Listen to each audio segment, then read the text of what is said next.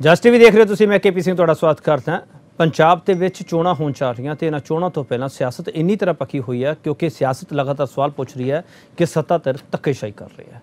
ਤੇ ਅੱਗੋਂ ਸੱਤਾ ਧਿਰ ਇਹ ਕਹਿੰਦੀ ਹੈ ਕਿ ਤੁਸੀਂ ਕੀ ਕੀਤਾ ਸੀਗਾ?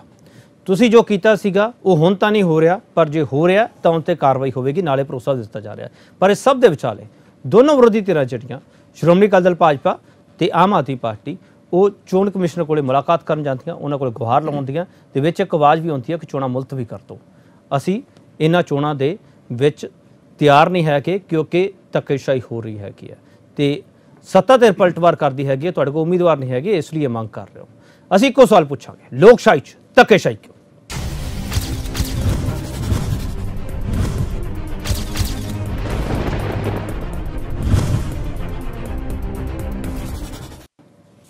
ਚੋਣਾਂ 'ਚ ਧੱਕੇਸ਼ਾਹੀ। ਅੱਜ ਬਹਿਸ ਕਿਉਂ ਕਰ ਰਹੇ ਹਾਂ? ਬਹਿਸ ਇਸੇ ਲਈ ਕਰ ਰਹੇ ਹਾਂ। ਪੰਜਾਬ 'ਚ ਜ਼ਿਲ੍ਹਾ ਪ੍ਰੀਸ਼ਦ ਤੇ ਬਲਾਕ ਸੰਮਤੀ ਚੋਣਾਂ 'ਚ ਹਿੰਸਾ ਦਾ ਪਰਛਾਵਾਂ ਹੈ ਸੱਤਾ ਧਿਰ ਖਿਲਾਫ ਵਿਰੋਧੀ ਧਿਰਾਂ ਨੇ ਲਗਾਏ ਧੱਕੇਸ਼ਾਹੀ ਦੇ ਇਲਜ਼ਾਮ। ਸ਼੍ਰੋਮਣੀ ਅਕਾਲੀ ਦਲ ਤੇ ਆਪ ਨੇ ਸੂਬਾ ਚੋਣ ਕਮਿਸ਼ਨ ਨੂੰ ਸ਼ਿਕਾਇਤ ਕੀਤੀ ਹੈ।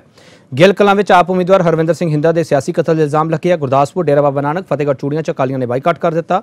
ਨਾਮਜ਼ਦਗੀ ਪਰਚੇ ਭਰਨ ਮੌਕੇ ਵੀ ਸੂਬੇ 'ਚ ਕਈ ਥਾਂ ਝੜਪ ਹੋਈ ਹੈ ਤੇ ਇਸ ਦੇ ਵਿੱਚ ਸ਼ਿਕਾਇਤਾਂ ਵੀ ਦਰਜ ਹੋਈਆਂ। ਵਿਰੋਧੀਆਂ ਵੱਲੋਂ ਬੇਵਜ੍ਹਾ ਉਮੀਦਵਾਰਾਂ ਦੇ ਪਰਚੇ ਰੱਦ ਕਰਾਉਣ ਦੇ ਇਲਜ਼ਾਮ ਲੱਗੇ। 19 ਸਤੰਬਰ ਨੂੰ ਵੋਟਾਂ ਪੈਣੀਆਂ 22 ਸਤੰਬਰ ਨੂੰ ਨਤੀਜੇ ਆਣਗੇ। ਸੱਤਾਧਰ ਦਾ ਪਲਟਵਾਰ, ਵਿਰੋਧੀਆਂ ਕੋਲ ਉਮੀਦਵਾਰ ਹੈ ਨਹੀਂ। ਇਸ ਲਈ ਬੇਵਜ੍ਹਾ ਇਲਜ਼ਾਮ ਲਗਾ ਰਹੇ ਆ। ਤੇ ਸਿਆਸਤ ਕਹਿੰਦੀ ਕੀ ਹੈ? ਉਹ ਪਹਿਲਾਂ ਸੁਣ ਲਈ ਨਹੀਂ, ਤੇ ਤੁਸੀਂ ਵੀ ਉੱਥੇ ਹੀ ਸੀ। ਇਹਦਾ ਮਤਲਬ ਕਿ ਜ਼ਿਲ੍ਹਾ ਪ੍ਰੀਸ਼ਦ ਦੇ ਮੈਂ ਜਾ ਕੇ ਰੋਕ ਆਏ ਗੁਰਦਾਸਪੁਰ ਵੀ।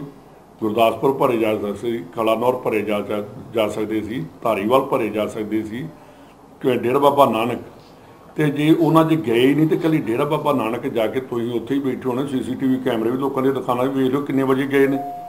ਤੇ ਜੇ ਉਹਨਾਂ ਕੋਲੋਂ ਬੰਦੇ ਹੀ ਨਹੀਂ ਮਿਲਦੇ ਤੇ ਬਾਅਦ 'ਚ ਜੇ ਇੱਟਾ ਪੱਥਰ ਚਲਾਉਣ ਲੱਗ ਪੈਣ ਤੇ ਫਿਰ ਕਾਂਗਰਸੀ ਅੱਗੋਂ ਕੋਈ ਚੂੜੀਆਂ ਪਾ ਕੇ ਨਹੀਂ ਬੈਠੇ। ਜਿਹੜੇ ਸੈਂਟਰ ਫੋਰਸਸ ਲਾਈਆਂ ਜਾਣ, ਕਿਉਂਕਿ ਪੰਜਾਬ ਜਿਸ ਤਰ੍ਹਾਂ ਬਠਿੰਡਾ ਵਿੱਚ ਕੱਲ ਮਰਡਰ ਹੋਇਆਗਾ, ਇਸੇ ਤਰ੍ਹਾਂ ਸਾਨੂੰ ਖਦਸ਼ਾ ਹੈਗਾ ਪੰਜਾਬ ਵਿੱਚ ਹੋਰ ਥਾਵਾਂ ਤੇ ਮਰਡਰ ਹੋਣਗੇ, ਦੰਗੇ ਹੋਣਗੇ, ਕਿਉਂਕਿ ਸਰਕਾਰ ਜਿਹੜੀ ਹੈ ਕਾਂਗਰਸ ਪਾਰਟੀ ਦੀ, ਉਹ ਇਹ ਚਾਹੁੰਦੀ ਹੈ ਕਿ ਪੰਜਾਬ ਵਿੱਚ ਇਲੈਕਸ਼ਨਾਂ ਨੂੰ ਜਿਹੜਾ ਹਾਈਜੈਕ ਕਰਕੇ ਬਗੈਰ ਇਲੈਕਸ਼ਨ ਕਰਾ ਦਿੱਤਾ ਜਾਵੇ। ਮੈਂ ਦੇਖਿਆ ਬਹੁਤ ਸਾਰੀਆਂ ਥਾਵਾਂ ਤੇ ਕੰਪਲੇਂਟਸ ਹੁਣ ਲਗਾਤਾਰ ਆ ਰਹੀਆਂ ਨੇਗੀਆਂ ਵੀ ਧੱਕੇ ਨਾਲ ਕਾਗਜ਼ ਵਾਪਸ ਕਰਵਾ ਰਹੇ ਨੇ ਕਾਂਗਰਸ ਪਾਰਟੀ ਦੇ ਵਰਕਰ।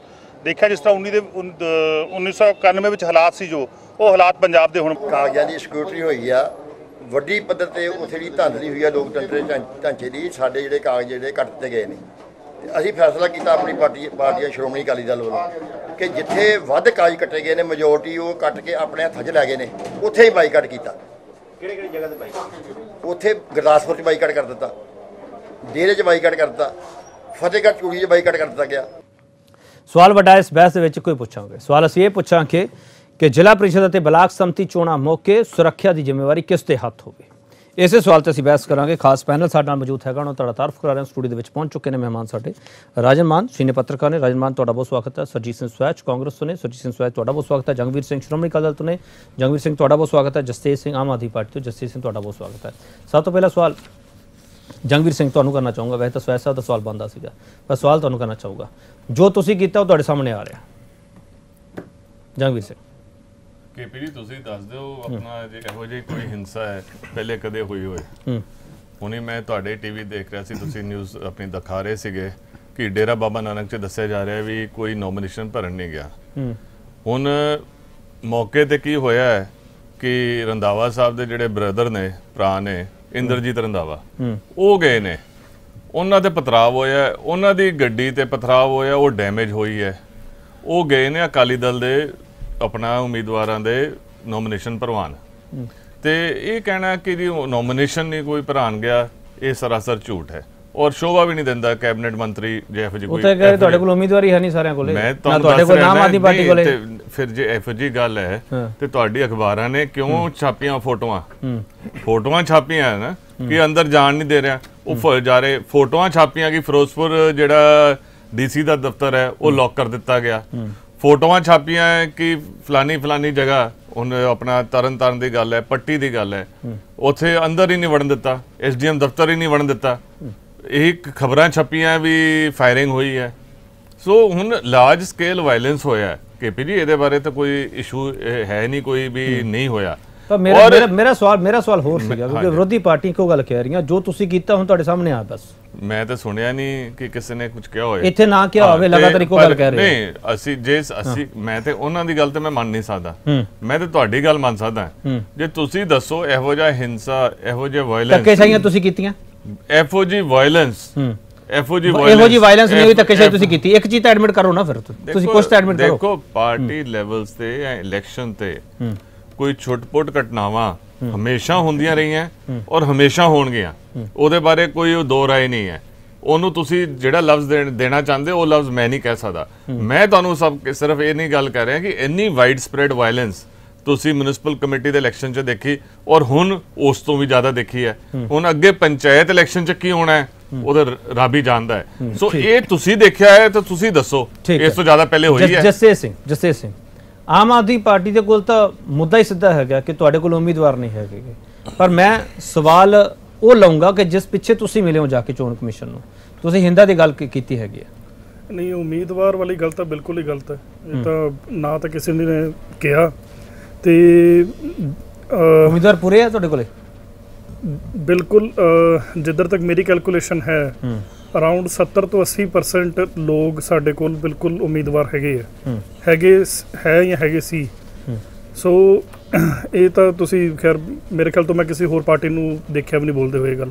ਕਿਸੇ ਮਤਲਬ ਜ਼ਿੰਮੇਵਾਰ ਇਨਸਾਨ ਨੂੰ। ਪਰ ਕੈਬਨਿਟ ਮੰਤਰੀ ਬੋਲ ਰਹੇ ਸੀਗੇ। ਕੈਬਨਿਟ ਮੰਤਰੀ ਤਾਂ ਫਿਰ ਜਨਰਲੀ ਸਾਰੇ ਬਾਰੇ ਕਹਿ ਰਹੇ ਆ ਨਾ ਕਿ ਵੀ ਹੈ ਹੀ ਨਹੀਂਗਾ ਬਟ ਐਦਾਂ ਜਿਵੇਂ ਤੁਸੀਂ ਪੁਆਇੰਟ ਆਊਟ ਕਰੋ ਵੀ ਆਮ ਆਦਮੀ ਪਾਰਟੀ ਕੋਲ ਨਹੀਂ ਹੈਗਾ ਇਹੋ ਜਿਹਾ ਕੁਝ ਨਹੀਂ ਹੈ। ਸਾਡੇ ਇਨਫੈਕਟ ਖੇਮਕਰਨ ਤੇ ਪੱਟੀ 'ਚ ਜਿੰਨੇ ਵੀ ਉਮੀਦਵਾਰ ਸੀਗੇ ਜਿੰਨੇ ਵੀ ਸਾਰਿਆਂ ਦੇ ਕਾਗਜ਼ ਰੱਦ ਹੋ ਗਏ। ਮਤਲਬ ਇਹ ਤਾਂ ਉਸ ਉਸ ਲੈਵਲ ਦੀ ਡਿਪਲੋਮੇਸੀ ਕਵਾਂ ਜਾਂ ਮੈਂ ਕਵਾਂ ਕਿ ਰਾਜਨੀਤੀ ਕੀਤੀ ਗਈ ਹੈ ਕਿ ਉਹਨਾਂ ਦੋਨਾਂ 'ਚ ਮਤਲਬ ਟੋਟਲੀ 100% ਰਿਜੈਕਟ ਹੋ ਗਏ ਸਾਰੇ ਸਾਰੇ। ਸੋ ਉਹ ਤੁਸੀਂ ਹੁਣ ਤੁਸੀਂ ਸਹੀ ਨਹੀਂ ਭਰੇ ਹੋਣੇ। ਹੈ? ਕਾਗਜ਼ ਤੁਸੀਂ ਸਹੀ ਨਹੀਂ ਭਰੇ ਹੋਣੇ। ਤੁਸੀਂ ਤਾਂ ਨਾਲ ਜੰਨੇ ਹੁੰਦੇ ਕਾਗਜ਼ ਭਰਵਾਉਣ। ਤੇ ਮੈਂ ਤਾਂ ਕਹਿ ਰਿਹਾ। ਮੈਂ ਤਾਂ 117 112 ਕਨਸਟੀਚੁਐਂਸੀ ਦੇ ਕਾਗਜ਼ ਭਰਵਾਏ ਸੀਗੇ ਅਸੈਂਬਲੀ ਚੋਣਾਂ ਦੇ ਟਾਈਮ ਉਦੋਂ ਤਾਂ ਕੋਈ ਰਿਜੈਕਟ ਹੋਇਆ ਨਹੀਂ। ਠੀਕ ਹੈ ਐਂਡ ਉਹਨਾਂ ਦੇ ਅਸੈਂਬਲੀ ਚੋਣਾਂ ਦੇ ਦੌਰਾਨ ਜਿਹੜਾ ਨੋਮੀਨੇਸ਼ਨ ਪੇਪਰ ਹੁੰਦਾ ਉਹ ਤਾਂ ਮਤਲਬ it runs into several pages 10 10 12 12 ਪੇਜਾਂ ਤੱਕ ਜਾਂਦਾ ਉਹ ਤਾਂ। ਠੀਕ ਹੈ ਤੇ ਇਹ ਤਾਂ ਮਤਲਬ ਇੱਕ ਜਾਂ ਦੋ ਪੇਜਾਂ ਦੇ ਕਾਗਜ਼ ਸੀਗੇ। ਜਾਣਬੁੱਝ ਕੇ ਰੱਦ ਕੀਤੇ ਗਏ ਪਰਚੇ ਜਾਣਬੁੱਝ ਕੇ ਕੀ ਤੁਸੀਂ ਹੁਣ ਅੱਜ ਦਾ ਐਗਜ਼ਾਮਪਲ ਲੈ ਲਓ ਕੱਲ ਦਾ। ਅੰਮ੍ਰਿਤਸਰ ਚ ਅੰਮ੍ਰਿਤਸਰ ਚ ਆਮ ਆਦਮੀ ਪਾਰਟੀ ਦੇ ਨੋਮੀਨੇਸ਼ਨ ਦੇ ਨਾਲ ਪ੍ਰਪੋਜ਼ਰ ਨੇ ਸਾਈਨ ਕਰਕੇ ਦੇਤਾ। ਠੀਕ ਹੈ। ਹੁਣ ਕੱਲ ਵਿਡਰਾਲ ਦਾ ਸੀਗਾ ਡੇ ਪਰਸੋਂ ਸੀਗਾ ਰਿਜੈਕਸ਼ਨ ਦਾ। ਪੇਪਰ ਪਾਸ ਹੋ ਗਏ ਕਿਉਂਕਿ ਪੇਪਰ ਪੂਰੇ ਸੀਗੇ। ਕੱਲ ਅਚਾਨਕ ਪ੍ਰਪੋਜ਼ਰ ਦਾ ਇੱਕ ਲੈਟਰ ਆ ਜਾਂਦਾ ਹੈ ਅੰਮ੍ਰਿਤਸਰ ਦੇ ਵਿੱਚ ਕਿ ਮੈਂ ਜੋ ਪ੍ਰਪੋਜ਼ ਕੀਤਾ ਸੀਗਾ ਨਾਮ ਮੈਂ ਵਿਡਰਾ ਕਰ ਰਿਹਾ। ਹੂੰ। ਉਹ ਪ੍ਰਪੋਜ਼ਲ ਨਾਲ ਬੈਠਾ ਹੋਇਆ ਕੈਂਡੀਡੇਟ ਦੇ ਕੱਲ ਸਾਰਾ ਦਿਨ। ਅੱਜ ਮੇਰੇ ਕੋਲ ਕੰਪਲੇਂਟ ਕਰ ਰਹੇ ਆ ਮੈਨੂੰ ਕਹਿ ਰਹੇ ਦੱਸੋ ਜੀ ਵਕੀਲ ਸਾਹਿਬ ਅਸੀਂ ਕੀ ਕਰ ਸਕਦੇ ਹਾਂ ਹੁਣ? ਪ੍ਰਪੋਜ਼ਰ ਤਾਂ ਇੱਕ ਵਾਰੀ ਵੀ ਨਹੀਂ ਗਿਆ ਕੱਲ ਉੱਤੇ। ਉੱਥੇ ਕੌਣ ਸਾਈਨ ਕਰਾਇਆ? ਮਤਲਬ ਇਸ ਹੱਦ ਤੱਕ ਇੱਕ ਗਿਰੀ ਹੋਈ ਰਾਜਨੀਤੀ ਹੋ ਰਹੀ ਹੈ ਕਿ ਹੁਣ ਪਤਾ ਕੀ ਮੌਕੇ ਦਾ ਫਾਇਦਾ ਦੇਖੋ ਕਿਵੇਂ ਚੱਕਿਆ। ਉੱਥੇ ਸਿਮਿਲਰ ਸਿਗਨੇਚਰ ਕਰਕੇ ਉੱਥੇ ਆਰਓ ਨੂੰ ਏਆਰਓ ਨੂੰ ਫੜਾ ਦਿੰਦੇ ਆ। ਠੀਕ ਹੈ? ਹੁਣ ਉਹ ਸਿਮਿਲਰ ਸਿਗਨੇਚਰ ਦੇ ਬੇਸ ਦੇ ਉੱਪਰ ਏਆਰਓ ਜਾ ਕੇ ਖਾਰਜ ਕਰ ਦਿੰਦਾ ਨੋਮੀਨੇਸ਼ਨ ਐਂਡ ਇਸ ਪ੍ਰਪੋਜ਼ਰ ਨੇ ਐਫੀਡੇਵਿਟ ਦਿੱਤਾ ਜਾ ਕੇ ਆਰਓ ਨੂੰ ਉਸ ਤੋਂ ਬਾਅਦ ਕੱਲ ਕਿ ਮੈਂ ਕੋਈ ਵੀ ਨੋਮੀਨੇਸ਼ਨ ਆਪਣੀ ਵਿਡਰਾ ਨਹੀਂ ਕਰਵਾਈ ਜਿਹਨੂੰ ਮੈਂ ਪ੍ਰਪੋਜ਼ ਕੀਤਾ ਮੈਂ ਅੱਜ ਵੀ ਉਹਦੇ ਨਾਲ ਖੜਾ। ਉਹਦੇ ਬਾਵਜੂਦ ਨੋਮੀਨੇਸ਼ਨ ਪੇਪਰ ਖਾਰਜ ਹੋ ਜਾਂਦੇ ਆ। ਠੀਕ ਹੈ, ਹੁਣ ਇਹ ਫਾਇਦਾ ਕੀ ਚੱਕਿਆ ਹੋਇਆ? ਆ ਦੇਖੋ ਇੱਕ ਵਾਰੀ ਕੇਪੀ ਜੀ। ਕਿ ਉਹਦੇ ਉੱਪਰ ਹੁਣ ਇਨਕੁਆਇਰੀ ਹੋਏਗੀ।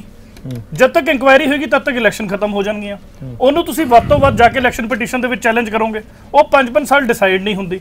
ਮੌਕੇ ਦਾ ਅਫਸਰ ਜਿਹੜਾ ਸੀਗਾ, ਉਹੀ ਜਦੋਂ ਕਰਪਟ ਨਿਕਲਿਆ, ਉਹਨੂੰ ਪਤਾ ਹੈ ਕਿ ਕੀ ਕਮੀਆਂ ਨੇ, ਕੀ ਲੈਕਿਊਨਾ ਨੇ ਸੰਵਿਧਾਨ ਦੇ ਵਿੱਚ। ਉਹਦਾ ਫਾਇਦਾ ਚੱਕਿਆ ਗਿਆ। ਕਦੋਂ। ਜਿਹੜੀ ਚੀਜ਼ ਪੁਰਾਣੀ ਚਲੋ ਠੀਕ ਹੈ। ਛੋਟਾ ਬ੍ਰੇਕ ਲੈਣੇ ਬ੍ਰੇਕ ਤੋਂ ਵਾਪਸ ਆਵਾਂਗੇ। ਵਿਰੋਧੀ ਤਰ੍ਹਾਂ ਦੀ ਗੱਲ ਤੁਸੀਂ ਸੁਣ ਲਈ ਹੈ ਕੀ ਹੈ। ਸੱਤਾਧਰ ਦੀ ਗੱਲ ਸੁਣਨੀ ਹੈ ਕਿਉਂਕਿ ਸੱਤਾਧਰ ਤੇ ਇਲਜ਼ਾਮ ਹੈ ਕਿ ਧੱਕੇਸ਼ਾਹੀ ਉਹ ਕਰ ਰਹੀ ਹੈ ਕੀ ਹੈ। ਸੱਤਾਧਰ ਇਹ ਪਹਿਲੀ ਨਹੀਂ ਹੈਗੀ ਜਿਨ ਤੇ ਇਲਜ਼ਾਮ ਲੱਗਿਆ ਸੱਤਾਧਰ ਜਿਹੜੀ ਹੁੰਦੀ ਹੈ ਸਮੇਂ ਦੀਆਂ ਸਰਕਾਰਾਂ ਜਿਹੜੀਆਂ ਹੁੰਦੀਆਂ ਉਹਨਾਂ ਤੇ ਇਲਜ਼ਾਮ ਲੱਗਦੇ ਹੈ ਕੀ ਹੈ। ਤੇ ਸਾਡਾ ਸਵਾਲ ਇੱਕੋ ਹੀ ਹੈ ਕਿ ਲੋਕਤੰਤਰ ਦੀ ਜਿਹੜੀ ਮੁੱਢਲੀ ਇਕਾਈ ਹੈ ਕੀ ਹੈ ਕਿ ਉਸ ਨੂੰ ਜੜੋਂ ਖੋਖਲਾ ਤਾਂ ਨਹੀਂ ਕੀਤਾ ਜਾ ਰਿਹਾ ਸਭ ਕੁਝ ਕਰਕੇ। ਬ੍ਰੇਕ ਤੋਂ ਵਾਪਸ ਆ ਰਹੇ ਹਾਂ। ਜ਼ਿਲ੍ਹਾ ਪ੍ਰੀਸ਼ਦ ਅਤੇ ਬਲਾਕ ਸੰਮਤੀ ਚੋਣਾਂ ਮੌਕੇ ਸੁਰੱਖਿਆ ਦੀ ਜ਼ਿੰਮੇਵਾਰੀ ਕਿਸ ਦੇ ਹੱਥ ਹੋਵੇ? ਸਰਜੀਤ ਸਿੰਘ ਸਵੈਚ। ਤੁਹਾਡੀ ਪਾਰਟੀ ਸਰਕਾਰੀ ਮਸ਼ੀਨਰੀ ਦੁਰਵਰਤੋਂ ਕਰ ਰਹੀ ਹੈ। ਤੁਹਾਡੀ ਪਾਰਟੀ ਪਰਚੇ ਭਰ ਨਹੀਂ ਦੇ ਰਹੀ। ਤੁਹਾਡੀ ਪਾਰਟੀ ਪਰਚੇ ਭਰੇ ਹੋਏ ਰੱਦ ਕਰਵਾ ਰਹੀ ਹੈ। ਤੁਹਾਡੀ ਪਾਰਟੀ ਹਿੰਸਾ ਕਰਵਾ ਰਹੀ ਹੈ। ਕੀ ਜਵਾਬ ਦੋ ਪਹਿਲਾਂ ਤਾਂ ਮੈਂ ਜਸਦੇਵ ਜੀ ਨੂੰ ਪੁੱਛਣਾ ਚਾਹੁੰਦਾ ਕਿ ਆਮ ਆਦਮੀ ਪਾਰਟੀ ਇਲੈਕਸ਼ਨ ਲੜ ਰਹੀ ਹੈ ਇਹ ਚੋਣਾਂ ਲੜ ਰਹੇ ਆ ਤੁਸੀਂ ਬਈ ਇਹ? ਹੂੰ। ਹੈ? ਸੱਚੀ ਗੱਲ ਹੈ ਇਹ? ਕਿਤੇ ਨਹੀਂ ਮੈਂ ਇਹਨਾਂ ਦੇ ਕੈਂਡੀਡੇਟ ਹੈਗੇ ਆ। ਅੱਛਾ। ਇਹ ਘਰੋਂ ਕੱਢ ਕੱਢ ਕੇ ਲੋਕਾਂ ਦੇ ਮਿੰਤਾਂ ਕਰ ਕਰਕੇ ਤਾਂ ਫਾਰਮ ਭਰਨ ਇਹ ਘਰੋਂ ਕੱਢਦੇ ਪਏ ਤੁਸੀਂ ਦਫ਼ਤਰਾਂ ਚੋਂ ਕੱਢ ਦਿੰਦੇ ਹੋ ਵੀ ਭਾਈ ਪਰਚੇ ਨਾ ਦਾਖਲ ਕਰਨਾ ਵੀਡੀਓ ਰਿਲੀਜ਼ ਹੋਈ ਹੋਈ ਹੈ। ਹਾਂ। ਉਹ ਸਾਰੇ ਮੀਡੀਆ ਕੋਲ ਪਹੁੰਚੀ ਹੋਈ ਹੈ। ਕਿਵੇਂ ਤੁਸੀਂ ਦਰਵਾਜ਼ਾ ਬੰਦ ਕਰ ਰਹੇ ਹੋ ਗੁਰਦਾਸਪੁਰ ਦੇ ਵਿੱਚ? ਤੇ ਕੈਂਡੀਡੇਟ ਅੰਦਰ ਜਾਣ ਦੀ ਕੋਸ਼ਿਸ਼ ਕਰ ਰਹੇ ਪੌਣੇ 3 ਵਜੇ। ਤੁਸੀਂ ਉਹਨੂੰ ਵੜਨ ਨਹੀਂ ਦੇ ਰਹੇ। ਗੱਲਾਂ ਕਰਦੇ ਹੋ। ਤੱਕ ਅਕਾਲੀ ਦਲ ਦਾ ਸਵਾਲ ਹੈਗਾ ਜੀ ਸ਼੍ਰੋਮਣੀ ਅਕਾਲੀ ਦਲ ਦਾ। ਇਹ ਪਾਰਟੀ ਧੱਕੇਸ਼ਾਹੀ ਦੀ ਗੱਲ ਕਰੇ ਯਕੀਨ ਨਹੀਂ ਹੁੰਦਾ। 10 ਸਾਲ ਇਹਨਾਂ ਨੇ ਪੰਜਾਬ ਦੇ ਵਿੱਚ ਹਰ ਚੋਣਾਂ ਦੇ ਵਿੱਚ ਜੋ ਕੀਤਾ ਹੈ ਉਹ ਤਾਂ ਕੀਤਾ ਹੀ ਕੀਤਾ ਹੈ। ਹੁਣ ਦੀ ਤਾਜ਼ਾ ਖਬਰ ਅੱਜ ਦੀ ਹੁਣ ਵੀ ਇਹ ਗੁੰਡਾਗਰਦੀ ਇਹ ਕਰ ਰਹੇ ਨੇ। ਇਹ ਇਹਨਾਂ ਦਾ ਤੁਸੀਂ ਇੱਕ ਸਾਬਕਾ ਮੰਤਰੀ ਤੇ ਮੈਂ ਹੁਣੇ ਸੁਣ ਰਿਹਾ ਸੀਗਾ ਉਹ ਸ਼ਰੇਆਮ ਪਬਲਿਕ ਗੈਦਰਿੰਗ ਦੇ ਵਿੱਚ ਡੀਐਸਪੀ ਨੂੰ ਧਮਕੀ ਦੇ ਰਿਹਾ ਉਹ ਵੀਡੀਓ ਨੂੰ ਧਮਕੀ ਦੇ ਰਿਹਾ ਉਹ ਆਰਓ ਨੂੰ ਧਮਕੀ ਦੇ ਰਿਹਾ ਉੱਥੇ ਪਬਲਿਕ ਗੈਦਰਿੰਗ ਦੇ ਵਿੱਚ ਕਰ ਸਵੈਚ। ਸਜੀਸ਼ਨ ਸਵੈਚ ਮੈਂ ਸਮਝਾਂ ਕਿ ਜੋ ਅਕਾਲੀ ਦਲ ਨੇ ਲਕੀਰ ਖਿੱਚੀ ਹੈ ਤੁਸੀਂ ਉਸ ਲਕੀਰ ਨੂੰ ਵੱਡਾ ਕਰਨਾ ਹੈ ਬਿਲਕ- ਬਿਲਕੁਲ ਨਹੀਂ ਜੀ ਬਿਲਕੁਲ। ਨਹੀਂ ਬਿਲਕੁਲ ਨਹੀਂ ਹਾਂ। ਪਹਿਲੀਆਂ ਇਲੈਕਸ਼ਨਾਂ ਵੀ ਜਿਹੜੀਆਂ ਹੋਈਆਂ ਮਿਊਨਿਸਪੈਲਿਟੀਆਂ ਦੀਆਂ ਜਿਹੜੀਆਂ ਇਹ ਜ਼ਿਲ੍ਹਾ ਪ੍ਰੀਸ਼ਦ ਤੇ ਪੰਚਾਇਤ ਸਮਿਤੀ ਇਲੈਕਸ਼ਨਾਂ ਹੋ ਰਹੀਆਂ ਨੇ ਸਾਡੀ ਸਰਕਾਰ ਬੜੀ ਨਿਰਪੱਖਤਾ ਨਾਲ ਬੜੀ ਪੀਸਫੁਲੀ ਬਹੁਤ ਵਧੀਆ ਢੰਗ ਨਾਲ ਇਹ ਇਲੈਕਸ਼ਨਾਂ ਕਰਵਾ ਰਹੀ ਹੈ ਤੇ ਸਿਰੇ ਚੜਾਵਾਂਗੇ ਅਸੀਂ ਸਾਨੂੰ ਪੂਰੀ ਆਸ ਹੈਗੀ ਹੈ। ਜਿਹੜੀਆਂ ਇਹ ਲਾਉਂਦੇ ਨੇ ਇਤਰਾਜ਼ ਲਾਉਂਦੇ ਨੇ ਜਾਂ ਸਰਕਾਰ ਤੇ ਇਲਜ਼ਾਮ ਲਾਉਂਦੇ ਨੇ ਅਫਸਰਾਂ ਤੇ ਲਾਉਂਦੇ ਨੇ ਬਿਲਕੁਲ ਬੇਬੁਨਿਆਦ ਨੇ ਕਿਉਂਕਿ ਪ੍ਰੈਕਟੀਕਲੀ ਤਾਂ ਦੇਖਿਆ ਅਸੀਂ ਅਸੀਂ ਪਟੀਸ਼ਨਾਂ ਪਾ ਕੇ ਦੇਖੀਆਂ ਹਾਈ ਕੋਰਟ ਦੇ ਵਿੱਚ। ਲੋਕੀ ਜਿਹੜੇ ਕੈਂਡੀਡੇਟ ਹੁੰਦੇ ਨੇ ਨਾ ਜੀ ਜਦੋਂ ਉਹਨਾਂ ਨੂੰ ਨਜ਼ਰ ਆਉਂਦਾ ਹੈ ਕਿ ਸਾਹਮਣੇ ਸਾਡੀ ਬੁਰੀ ਤਰ੍ਹਾਂ ਹਾਰ ਹੋਣੀ ਹੈਗੀ ਹੈ ਉਹਨਾਂ ਦੀ ਜਿਹੜੀ ਪਾਰਟੀ ਆ ਉਹ ਖਿੱਚ ਕੇ ਲਿਆਉਂਦੀ ਤੁਸੀਂ ਭਰੋ ਜੀ ਕਾਗਜ਼ ਭਰੋ। ਉਹ ਜਾਣ ਬੁੱਝ ਕੇ ਵਿੱਚ ਖਾਮੀਆਂ ਛੱਡ ਦਿੰਦੇ ਨੇ। ਉਹ ਤਾਂ ਰਿਜੈਕਟ ਤਾਂ ਕਾਗਜ਼ ਰਿਜੈਕਟ ਹੋ ਜਾਣ। ਇਹਨਾਂ ਦੇ ਆਪ ਦੀ ਕਰਦੇ ਨੇ।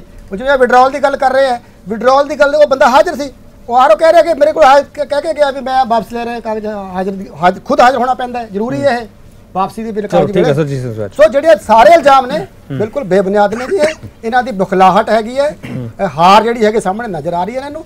ਉਸੇ ਨੂੰ ਧਿਆਨ ਵਿੱਚ ਰੱਖ ਕੇ ਇਹ ਮਤਲਬ ਪ੍ਰੀਵੈਂਟਿਵ ਜਿਹੜਾ ਐਕਸ਼ਨ ਹੁੰਦਾ ਨਾ ਡਿਫੈਂਸ ਪਹਿਲੇ ਆਫੈਂਸਿਵ ਹੋ ਜਾਓ ਤੁਸੀਂ। ਸਰਕਾਰ ਤੇ ਇਲਜ਼ਾਮ ਤੇ ਇਲਜ਼ਾਮ ਲਾਈ ਜਾਓ। ਠੀਕ ਹੈ। ਕਸੂਰ ਆਪਣਾ ਹੈਗਾ। ਠੀਕ ਠੀਕ ਮੈਂ ਆਉਂਗਾ ਵਾਪਸ। ਰਾਜਨ ਮਾਨ। ਜਮਹੂਰੀਅਤ ਦਾ ਜਿਹੜਾ ਪਹਿਲਾ ਪਾਵਾ ਹੈਗਾ ਉਸ ਨੂੰ ਮਜ਼ਬੂਤ ਕੋਈ ਨਹੀਂ ਕਰਨਾ ਚਾਹੁੰਦਾਗਾ ਸਾਰੀਆਂ ਸਰਕਾਰਾਂ ਨੇ ਹੁਣ ਤੱਕ ਇਦਾਂ ਕੀਤਾ ਇਸ ਲਈ ਸਥਿਤੀ ਬਦਲ ਨਹੀਂ ਸਕਦੀ। ਮਾਨ ਜੀ ਬਿਲਕੁਲ। ਬਿਲਕੁਲ ਇੱਕ ਗੱਲ ਤੇ ਬਹੁਤ ਕਲੀਅਰ ਆ ਜਿਵੇਂ ਜੰਗਵੀਰ ਜੀ ਨੇ ਵੀ ਗੱਲ ਕੀਤੀ ਆ ਜੁਕੇਸ਼ ਜੀ ਨੇ ਗੱਲ ਕੀਤੀ ਆ ਕਿ ਧੱਕੇਸ਼ਾਹੀਆਂ ਧੱਕੇਸ਼ਾਹੀਆਂ ਦੇ ਵਿੱਚ ਕੋਈ ਸ਼ੱਕ ਨਹੀਂ ਕਿ ਧੱਕੇਸ਼ਾਹੀਆਂ ਹੋ ਰਹੀਆਂ ਨੇ। ਪਰ ਇਸ ਦੇ ਨਾਲ ਨਾਲ ਆਪਾਂ ਨੂੰ ਇਹ ਵੀ ਸੋਚ ਲੈਣਾ ਚਾਹੀਦਾ ਅਕਾਲੀ ਦਲ ਨੂੰ ਵੀ ਇਸ ਗੱਲ ਦੀ ਵਿਚਾਰਨੀ ਚਾਹੀਦੀ ਆ ਕਿ ਉਹਨਾਂ ਨੇ ਆਪਣੀ ਸਰਕਾਰ ਦੇ ਟਾਈਮ ਦੇ ਉੱਤੇ ਵੀ ਇਹੀ ਕੁਝ ਕੀਤਾ। ਜੋ ਧੱਕੇਸ਼ਾਹੀਆਂ ਅੱਜ ਹੋ ਰਹੀਆਂ ਨੇ ਉਹੀ ਜਿਹੜੇ ਆ ਇਹ ਜਿਹੜੀਆਂ ਪੈੜਾਂ ਪਾਈਆਂ ਗਈਆਂ ਨੇ ਨਾ ਚਾਹੇ ਅਕਾਲੀ ਦਲ ਇਹ ਮਤਲਬ ਕਿ ਤੁਸੀਂ ਪਿਛਲੇ ਲੰਬੇ ਸਮੇਂ ਤੋਂ ਵੇਖੋ ਜਿਹੜੀ ਵੀ ਸਰਕਾਰ ਆਉਂਦੀ ਆ ਇਹ ਜਿਹੜੀਆਂ ਦੁਨੀਆ ਮਿਊਨਿਸਪਲ ਕਾਰਪੋਰੇਸ਼ਨ ਦੀਆਂ ਇਲੈਕਸ਼ਨਾਂ ਆਉਂਦੀਆਂ ਚਾਹੇ ਪੰਚਾਇਤ ਦੀਆਂ ਇਲੈਕਸ਼ਨਾਂ ਆਉਂਦੀਆਂ ਇਹਦੇ ਵਿੱਚ ਰੂਲਿੰਗ ਪਾਰਟੀ ਧੱਕੇ ਕਰਦੀ ਆਈ ਆ। ਔਰ ਅੱਜ ਜੇ ਕਾਂਗਰਸ ਦੀ ਗੱਲ ਕਰੀਏ ਕਾਂਗਰਸ ਧੱਕੇ ਕਰ ਰਹੀ ਆ। ਕਿਉਂਕਿ ਉਹਨਾਂ ਨੇ ਵੀ ਉਹ ਕਹਿੰਦੇ ਸੀ ਅਸੀਂ 10 ਸਾਲ ਸੰਤਾਪ ਹੰਡਾਇਆ ਅਸੀਂ ਤਾਂ ਧੱਕੇ ਕਰ ਰਹੇ। ਪਰ ਓਵਰਆਲ ਗੱਲ ਇਹ ਆ ਕਿ ਇਹ ਤਰਾਸਦੀ ਆ ਲੋਕਤੰਤਰ ਲਈ ਤਰਾਸਦੀ ਆ ਪੰਜਾਬ ਦੇ ਲੋਕਾਂ ਲਈ ਤਰਾਸਦੀ ਆ ਕਿ ਇਹਨਾਂ ਦੇ ਪੋਲੀਟੀਕਲ ਸਿਸਟਮ ਦੇ ਵਿੱਚ ਇਹਨਾਂ ਦੀ ਆਪਸੀ ਖਹਿਬਾਜ਼ੀ ਦੇ ਵਿੱਚ ਪਿਸ ਕੌਣ ਰਹੇ ਨੇ? ਪੰਜਾਬ ਦੀ ਆਵਾਮ। ਉਹਨਾਂ ਦਾ ਪੰਜਾਬ ਦੀ ਆਵਾਮ ਦੇ ਮੁੱਦੇ ਮੁੱਦੇ ਵੀ ਨਹੀਂ ਚੁੱਕੇ ਜਾ ਰਹੇ। ਬਿਲਕੁਲ ਗੱਲ ਹੀ ਨਹੀਂ ਹੋ ਰਹੀ। ਜਿੰਨੀਆਂ ਇਲੈਕਸ਼ਨਾਂ ਲੜੀਆਂ ਜਾ ਰਹੀਆਂ ਚਾਹੇ ਉਹ ਵਿਧਾਨ ਸਭਾ ਦੀ ਆਪਾਂ ਗੱਲ ਕਰ ਲਈਏ ਚਾਹੇ ਪੰਚਾਇਤਾਂ ਦੀ ਜਾਂ ਜ਼ਿਲ੍ਹਾ ਪ੍ਰੀਸ਼ਦ ਦੀ ਗੱਲ ਕਰ ਲਈਏ ਪੰਜਾਬ ਦੇ ਲੋਕਾਂ ਲਈ ਕਿਸੇ ਨੇ ਹਾ ਦਾ ਨਾਰਾ ਨਹੀਂ ਮਾਰਿਆ। ਸਿਰਫ ਤੇ ਸਿਰਫ ਆਪਣੀ ਪੋਲਿਟਿਕਸ ਕੀਤੀ ਗਈ ਆ, ਉੱਥੇ ਕੋਸ਼ਿਸ਼ ਕੀਤੀ ਜਾਂਦੀ ਆ ਕਿ ਅਸੀਂ ਪਾਰਟੀ ਦੇ ਵਟ- ਕਿਸੇ ਲੀਡਰ ਦੇ ਉੱਤੇ ਚਿੱਕੜ ਕਿਦਾਂ ਸੁੱਟਣਾ ਵਾ। ਪੰਜਾਬੀਆਂ ਦੇ ਮੁੱਦੇ ਹੁਣ ਤੱਕ ਮੈਨੂੰ ਦੱਸ ਦੇਣ ਕਿ ਕਿਹੜੀਆਂ ਇਲੈਕਸ਼ਨਾਂ ਦੇ ਵਿੱਚ ਲੜੇ ਗਏ ਨੇ। ਅੱਜ ਗਰੀਬੀ ਰੇਖਾ ਹੋਆ, ਕਿਸਾਨ ਅੱਜ ਵੀ ਸੁਸਾਈਡ ਕਰ ਰਿਹਾ ਵਾ, ਠੀਕ ਹੈ? ਹਰ ਤਰ੍ਹਾਂ ਦੇ ਅਨਪਲਾਈਮੈਂਟ ਉਸੇ ਤਰ੍ਹਾਂ ਵਾ। ਇਹ ਜਿਹੜੀ ਗੱਲਾਂ ਨੇ, ਇਹ ਗੱਲਾਂ ਕਰਨ ਦੀ ਬਜਾਏ ਜਿਵੇਂ ਜੰਗਵੀਰ ਜੀ ਨੇ ਵੀ ਹੁਣ ਕਹਿ ਦਿੱਤਾ ਕਿ ਹਾਂ ਜੀ, ਇਹ ਧੱਕੇਸ਼ਾਹੀਆਂ ਗਾਂ ਵੀ ਹੁੰਦੀਆਂ ਰਹਿਣਗੀਆਂ। ਮਤਲਬ ਕਿ ਇਹ ਇਹ ਇੱਕ ਗੱਲ ਜੰਗਵੀਰ ਜੀ ਮੈਂ ਪੁੱਛਣਾ ਚਾਹੁੰਦਾ ਇਹ ਗੱਲ ਨਹੀਂ ਤੁਹਾਨੂੰ ਸੂਟ ਕਰਦੀ। ਤੁਸੀਂ ਅਕਾਲੀ ਦਲ ਦੇ ਉਹਦੇ ਨੁਮਾਇੰਦੇ ਹੋ। ਤੁਸੀਂ ਵਰਡ ਸਹੀ ਚੁਣਿਆ ਕਰੋ। ਤੁਸੀਂ ਤੁਸੀਂ ਰਹਿਣਗੀਆਂ, ਨਹੀਂ, ਚੱਲਦੀਆਂ ਰਹਿਣਗੀਆਂ। ਨਹੀਂ ਤੁਸੀਂ ਨਹੀਂ, ਇਹ ਲਫ਼ਜ਼ ਨਹੀਂ, ਨਹੀਂ, ਵਰਤਿਆ। ਤੁਸੀਂ ਵਰਡ ਲਫ਼ਜ਼ ਵਰਤ ਰਹੇ ਹੋ ਧੱਕੇਸ਼ਾਹੀ। ਮੈਂ ਧੱਕੇਸ਼ਾਹੀ ਜੇ ਵਰਡ ਵਰਤਿਆ ਹੋਏ ਤੇ ਤੁਸੀਂ ਰਿਵਾਈਂਡ ਕਰ ਗੱਲ ਲਓ। ਕੀਤੀ ਕਿ ਇਹ- ਇਹ ਚੱਲਦੀਆਂ ਮੈਂ। ਕਿਹਾ ਕੁਝ ਇਨਸੀਡੈਂਟ ਤੁਸੀਂ ਕਿਹਾ ਅੱਗੇ ਵੀ ਹੁੰਦੇ ਰਹਿਣਗੇ, ਅੱਗੇ ਵੀ ਹੁੰਦੇ ਰਹਿਣਗੇ। ਪਹਿਲੇ ਵੀ ਹੋਏ ਸੀ ਅੱਗੇ ਵੀ ਹੁੰਦੇ ਹਾਂ, ਰਹਿਣਗੇ ਅੱਗੇ ਵੀ, ਹਾਂ। ਜਦੋਂ ਗ੍ਰਾਸ ਰੂਟ ਡੈਮੋਕ੍ਰੇਸੀ 'ਚ ਕੋਈ ਇਲੈਕਸ਼ਨ ਹੁੰਦਾ ਹੈ ਬਿਲਕੁਲ। ਕੁਝ ਅਨਟੂਵਰਡ ਇਨਸੀਡੈਂਟ ਨਹੀਂ, ਇਹ- ਇਹ- ਥੋੜੇ ਇਹ- ਬਹੁਤ ਇਹ- ਇਹ ਦੋ ਗੱਲ- ਚਾਰ ਇਹ ਗੱਲ- ਇਨਸੀਡੈਂਟ ਇਹ ਗੱਲ ਮੈਂ ਜੰਗਵੀਰ ਜੀ ਡਿਆ। ਪਹਿਲੇ ਵੀ ਹੋਣਗੇ ਬਾਅਦ ਇਹਦਾ ਮਤਲਬ ਚੀਜ਼ਾਂ ਬਦਲਣਗੀਆਂ ਨਹੀਂ ਨਾ। ਕਿ ਅਸੀਂ admit ਕਰ ਚੁੱਕੇ ਹਾਂ। ਗੱਲ ਦੇ ਉੱਤੇ। ਨਹੀਂ ਜੰਗਵੀਰ ਜੀ ਗੱਲ ਇਹੀ ਤੁਸੀਂ ਆ ਮੈਨੂੰ ਕਾਊਂਟਰ ਦੇਖੋ ਤੁਸੀਂ ਕੇਪੀ ਜੀ ਐਜ਼ ਐਂਕਰ ਤੁਸੀਂ ਆਪਣੀ ਰਿਸਪੌਂਸਿਬਿਲਿਟੀ ਸਮਝੋ ਹਾਂ, ਹਾਂ। ਤੁਸੀਂ ਮੈਨੂੰ ਸਵ- ਸਵਾਲ 'ਚ ਫਸਾ ਰਹੇ ਸੀ ਧੱਕੇਸ਼ਾਹੀ ਕਹਿ ਕੇ ਹਾਂ। ਮੈਂ ਤੁਹਾਨੂੰ ਕਿਹਾ ਹੈ ਵੀ ਕੋਈ ਜਿਹੜੇ ਛੋਟੇ ਮੋਟੇ ਕਹਿ ਲੋ ਜਾਂ ਕੁਝ ਇਨਸੀਡੈਂਟਸ ਉਹ ਪਹਿਲੇ ਵੀ ਹੁੰਦੇ ਆ ਹੁਣ ਵੀ ਹੁੰਦੇ ਰਹਿਣਗੇ ਚਲੋ ਮੈਂ ਸਵਾਲ ਸਿੱਧਾ ਕਰ ਦਿੰਦਾ, ਸਵਾਲ ਸਿੱਧਾ ਕਰ ਦਿੰਦਾ, ਮੈਂ ਸਵਾਲ ਸਿੱਧਾ ਕਰ ਦਿੰਦਾ। ਮੈਂ ਤੁਹਾਨੂੰ ਕਿਹਾ ਸਾਫ਼ ਸੀ ਸੁਥਰੀ- ਜਿਹੜੀ ਧੱਕੇਸ਼ਾਹੀ ਦੀ ਗੱਲ ਮੈਂ ਸਵਾਲ ਸਿੱਧਾ ਕਰ ਨਹੀਂ। ਜੰਗਵੀਰ ਮੈਂ ਸਵਾਲ ਨਹੀਂ ਮੈਂ। ਸਵਾਲ ਸਿੱਧਾ ਕਰਦਾ ਮੈਂ ਸਵਾਲਾਂ ਵਿੱਚ ਫਸਾ ਨਹੀਂ ਰਿਹਾ ਮੈਂ ਸਵਾਲ ਸਿੱਧਾ ਕਰ ਦਿੰਦਾ ਕਿ ਸਾਫ਼ ਸੁਥਰੀਆਂ ਚੋਣਾਂ ਹੁਣ ਸੁਪਨਾ ਰਹਿ ਗਿਆ ਦੇਖੋ ਇਹ ਬਹੁਤ ਵਧੀਆ ਸਵਾਲ ਕੀਤਾ। ਹੁਣ ਹੁਣ ਠੀਕ ਹੁਣ ਹੁਣ ਨਹੀਂ ਫਸਾਉਣ ਦੀ ਕੋਸ਼ਿਸ਼ ਕਰ ਰਹੇ। ਜਿਹੜੀ ਸਾਫ਼ ਸੁਥਰੀ ਚੋਣ ਹੈ ਇਹਦੀ ਜ਼ਿੰਮੇਵਾਰੀ ਸਿਰਫ ਸ਼੍ਰੋਮਣੀ ਅਕਾਲੀ ਦਲ ਦੀ ਹੈ। ਪਹਿਲੀ ਗੱਲ ਤੇ ਚਲੋ ਠੀਕ ਹੈ ਸੁਸਾਇਟੀ ਦੀ ਵੀ ਹੈ।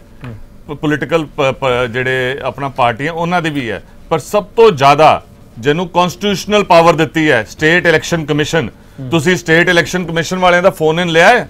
ਤੁਸੀਂ ਉਹਨਾਂ ਨੂੰ ਪੁੱਛਿਆ ਵੀ ਤੁਹਾਡੇ ਕੋਲ ਰੋਜ਼ ਧੱਕੇ ਖਾ ਰਹੇ ਨੇ ਲੋਕ ਆ ਕੇ? ਰੋਜ਼ ਰਿਪਰੈਜ਼ੈਂਟੇਸ਼ਨ ਦੇ ਰਹੇ ਨੇ। ਕੀ ਐਕਸ਼ਨ ਲਿਆ? ਅਸੀਂ ਕਿਹਾ ਵੀ ਪੈਰਾਮਿਲਟਰੀ ਫੋਰਸਸ ਲਾਓ। ਲਾਈਆਂ, ਕੋਈ ਫੋਰਸ ਲਾਈਆਂ? ਅਸੀਂ ਕਿਹਾ ਜਿਹੜੇ ਸਿਵਲ ਤੇ ਪੁਲਿਸ ਅਫਸਰ ਨੇ, ਜਿਨ੍ਹਾਂ ਦੇ ਸਾਹਮਣੇ ਫਾਇਰਿੰਗ ਹੋਈ, ਜਿਹੜੇ ਮਿਊਟ ਸਪੈਕਟੇਟਰ ਬਣ ਕੇ ਖੜੇ ਰਹੇ ਜਿਹੜਾ ਉਹਨਾਂ ਦੇ ਸਾਹਮਣੇ ਵਾਇਲੈਂਸ ਹੋ ਰਿਹਾ ਜਿਹਨੇ ਕੋਈ ਐਕਸ਼ਨ ਨਹੀਂ ਲਿਆ ਵੀਡੀਓ ਬਣੇ ਨੇ ਉਹਨੇ ਤਾਂ ਕੋਈ ਐਕਸ਼ਨ ਲਿਆ? ਜੰਗਵੀਰ ਸਿੰਘ ਤੁਸੀਂ ਵੀ ਆਪਦਾ ਫਰਜ਼ ਜੰਗਵੀਰ ਸਿੰਘ ਜੰਗਵੀਰ ਸਿੰਘ ਜੰਗਵੀਰ ਸਿੰਘ ਚਲੋ ਠੀਕ ਹੈ ਤੁਸੀਂ ਮੈਨੂੰ ਦਾ ਤੁਸੀਂ। ਮੈਨੂੰ ਤੁਸੀਂ ਮੈਨੂੰ ਮੇਰਾ ਫਰਜ਼ ਚੇਤੇ ਕਰਾਉਂਦੇ ਰਹੋ। ਮੈਂ ਮੈਂ ਮੈਂ ਤੁਹਾਡਾ ਸ਼ੁਕਰਗੁਜ਼ਾਰ ਹਾਂ। ਜੰਗਵੀਰ ਸਿੰਘ ਕਦੇ ਹੁਣ ਤੱਕਰ ਪੰਜਾਬ ਦੇ ਜਿਹੜੀਆਂ ਪੰਚਾਇਤ ਚੋਣਾਂ ਹੋਈਆਂ ਜਾਂ ਸਰਬ ਜਿਹੜੀਆਂ ਬਲਾਕ ਸੰਮਤੀ ਚੋਣਾਂ ਹੋਈਆਂ ਜ਼ਿਲ੍ਹਾ ਪ੍ਰੀਸ਼ਦ ਦੀਆਂ ਚੋਣਾਂ ਹੋਈਆਂ ਕਦੇ ਪੈਰਾਮਿਲਟਰੀ ਫੋਰਸਸ ਲੱਗੀਆਂ ਅੱਜ ਤੱਕ? ਦੇਖੋ ਉਹੀ ਗੱਲ। ਤੁਸੀਂ ਹੁਣ ਗੱਲ ਕਰ ਰਹੇ ਹੋ ਕਿ ਕਦੇ ਲੱਗੀਆਂ। ਤੁਸੀਂ ਆਪਣਾ ਇਨਸੀਡੈਂਟਸ ਦੇ ਹਿਸਾਬ ਨਾਲ ਚੱਲੋਗੇ ਕਿ ਹਿਸਟਰੀ ਦੇ ਹਿਸਾਬ ਨਾਲ ਚੱਲੋਗੇ? ਬੰਗਾਲ ਚ ਕੀ ਹੋਇਆ?